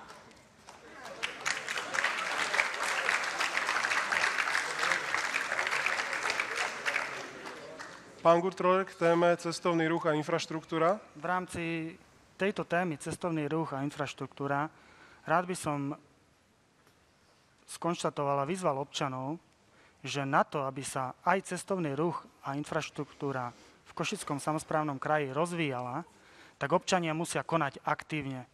Nemôžu zostať v letargii a nechať veci tak, ako stoja. To znamená umožniť to, aby sa niekto zabetonoval. Preto infraštruktúra a región sa rozvinie len vtedy, keď občania reálne zoberú moc do svojich rúk a prídu voliť. Nie je predsa možné, aby sa udialo to, čo sa udialo v roku 2009, že zo 100 občanov, voličov, vzhľadom na nízku účasť, 23%, rozhodlo o Županovi 12 voličov. To je nemysliteľné, aby 12 voličov rozhodlo o tom, že zostane, dajme tomu, súčasný župan. Ja týmto si dovolím vyzvať občanov, aby prišli voliť, aby statočne volili, aby statočne sa zamysleli nad tým, aby nevolili staré štruktúry, aby nevolili parazitov, ktorí zbytočne tu na rozkradajú štát a tento región, aby volili sedem statočných. Sedem statočných Dobre, je nová pekne. strana. Ďakujeme pekne, je to výzva k občanom, aby prišli k voľbám. Na záver ešte pán Bauer, ktorému zostáva minúta a pol. Chcem povedať na záver, že myslím si, že potrebujeme zmenu v našom kraji, či je to zmena v oblasti cestovného ruchu, pretože lepší rozvoj cestovného ruchu prináša pracovné príležitosti, to znamená vyššiu zamestnanosť, to znamená, aby mladí ľudia nemuseli odchádzať stadiaľ, aby tu mali slušné podmienky pre život a to sa týka aj iných oblastí, o ktorých sme hovorili, aby povedzme, učitelia, slušní učitelia nemuseli sa báť, pýtať sa e, na škole, na, na zmluvy a podobne. Čiže toto je to, čo chcem na záver povedať, ľudia, takisto príďte k voľbám, príďte do volie vyšších územných celkov, aby sme spoločne takúto zmenu v Košickom kraji dosiahli.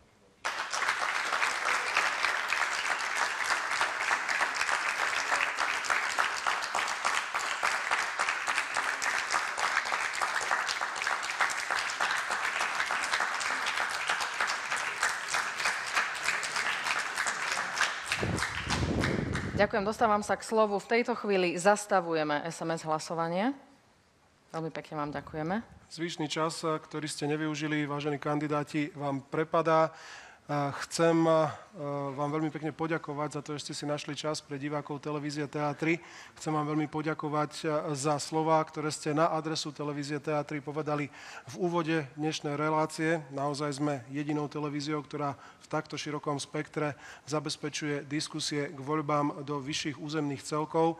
Myslím si, že dnešná diskusia bola pomerne korektná a som vám veľmi vďačný aj za spôsob jej vedenia, rovnako ako našim divákom tu v sále, ktorí boli medzi vašimi priaznivcami. Ďakujeme pekne, dámy a páni. Ďakujeme.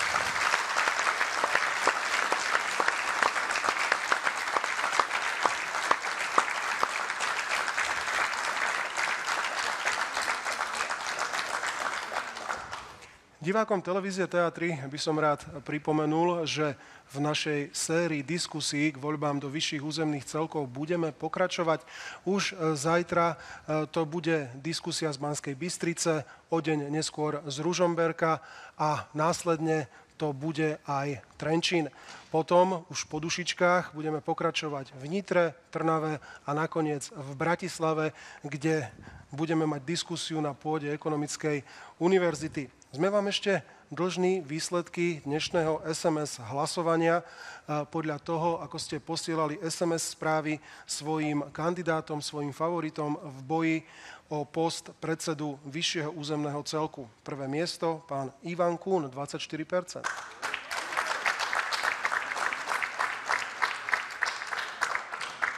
Druhé miesto, pán Rastislav Masnik, 24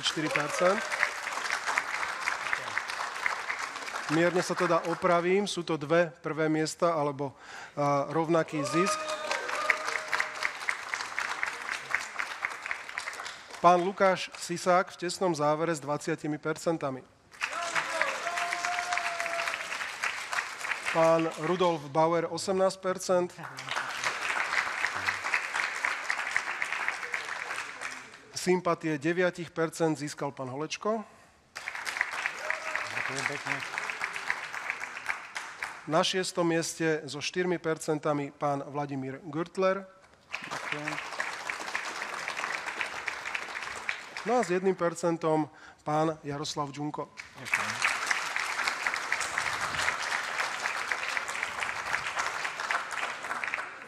Či naozaj tieto výsledky budú aj reálne, teda v tom prvom kole. O tom práve máte možnosť rozhodnúť vy.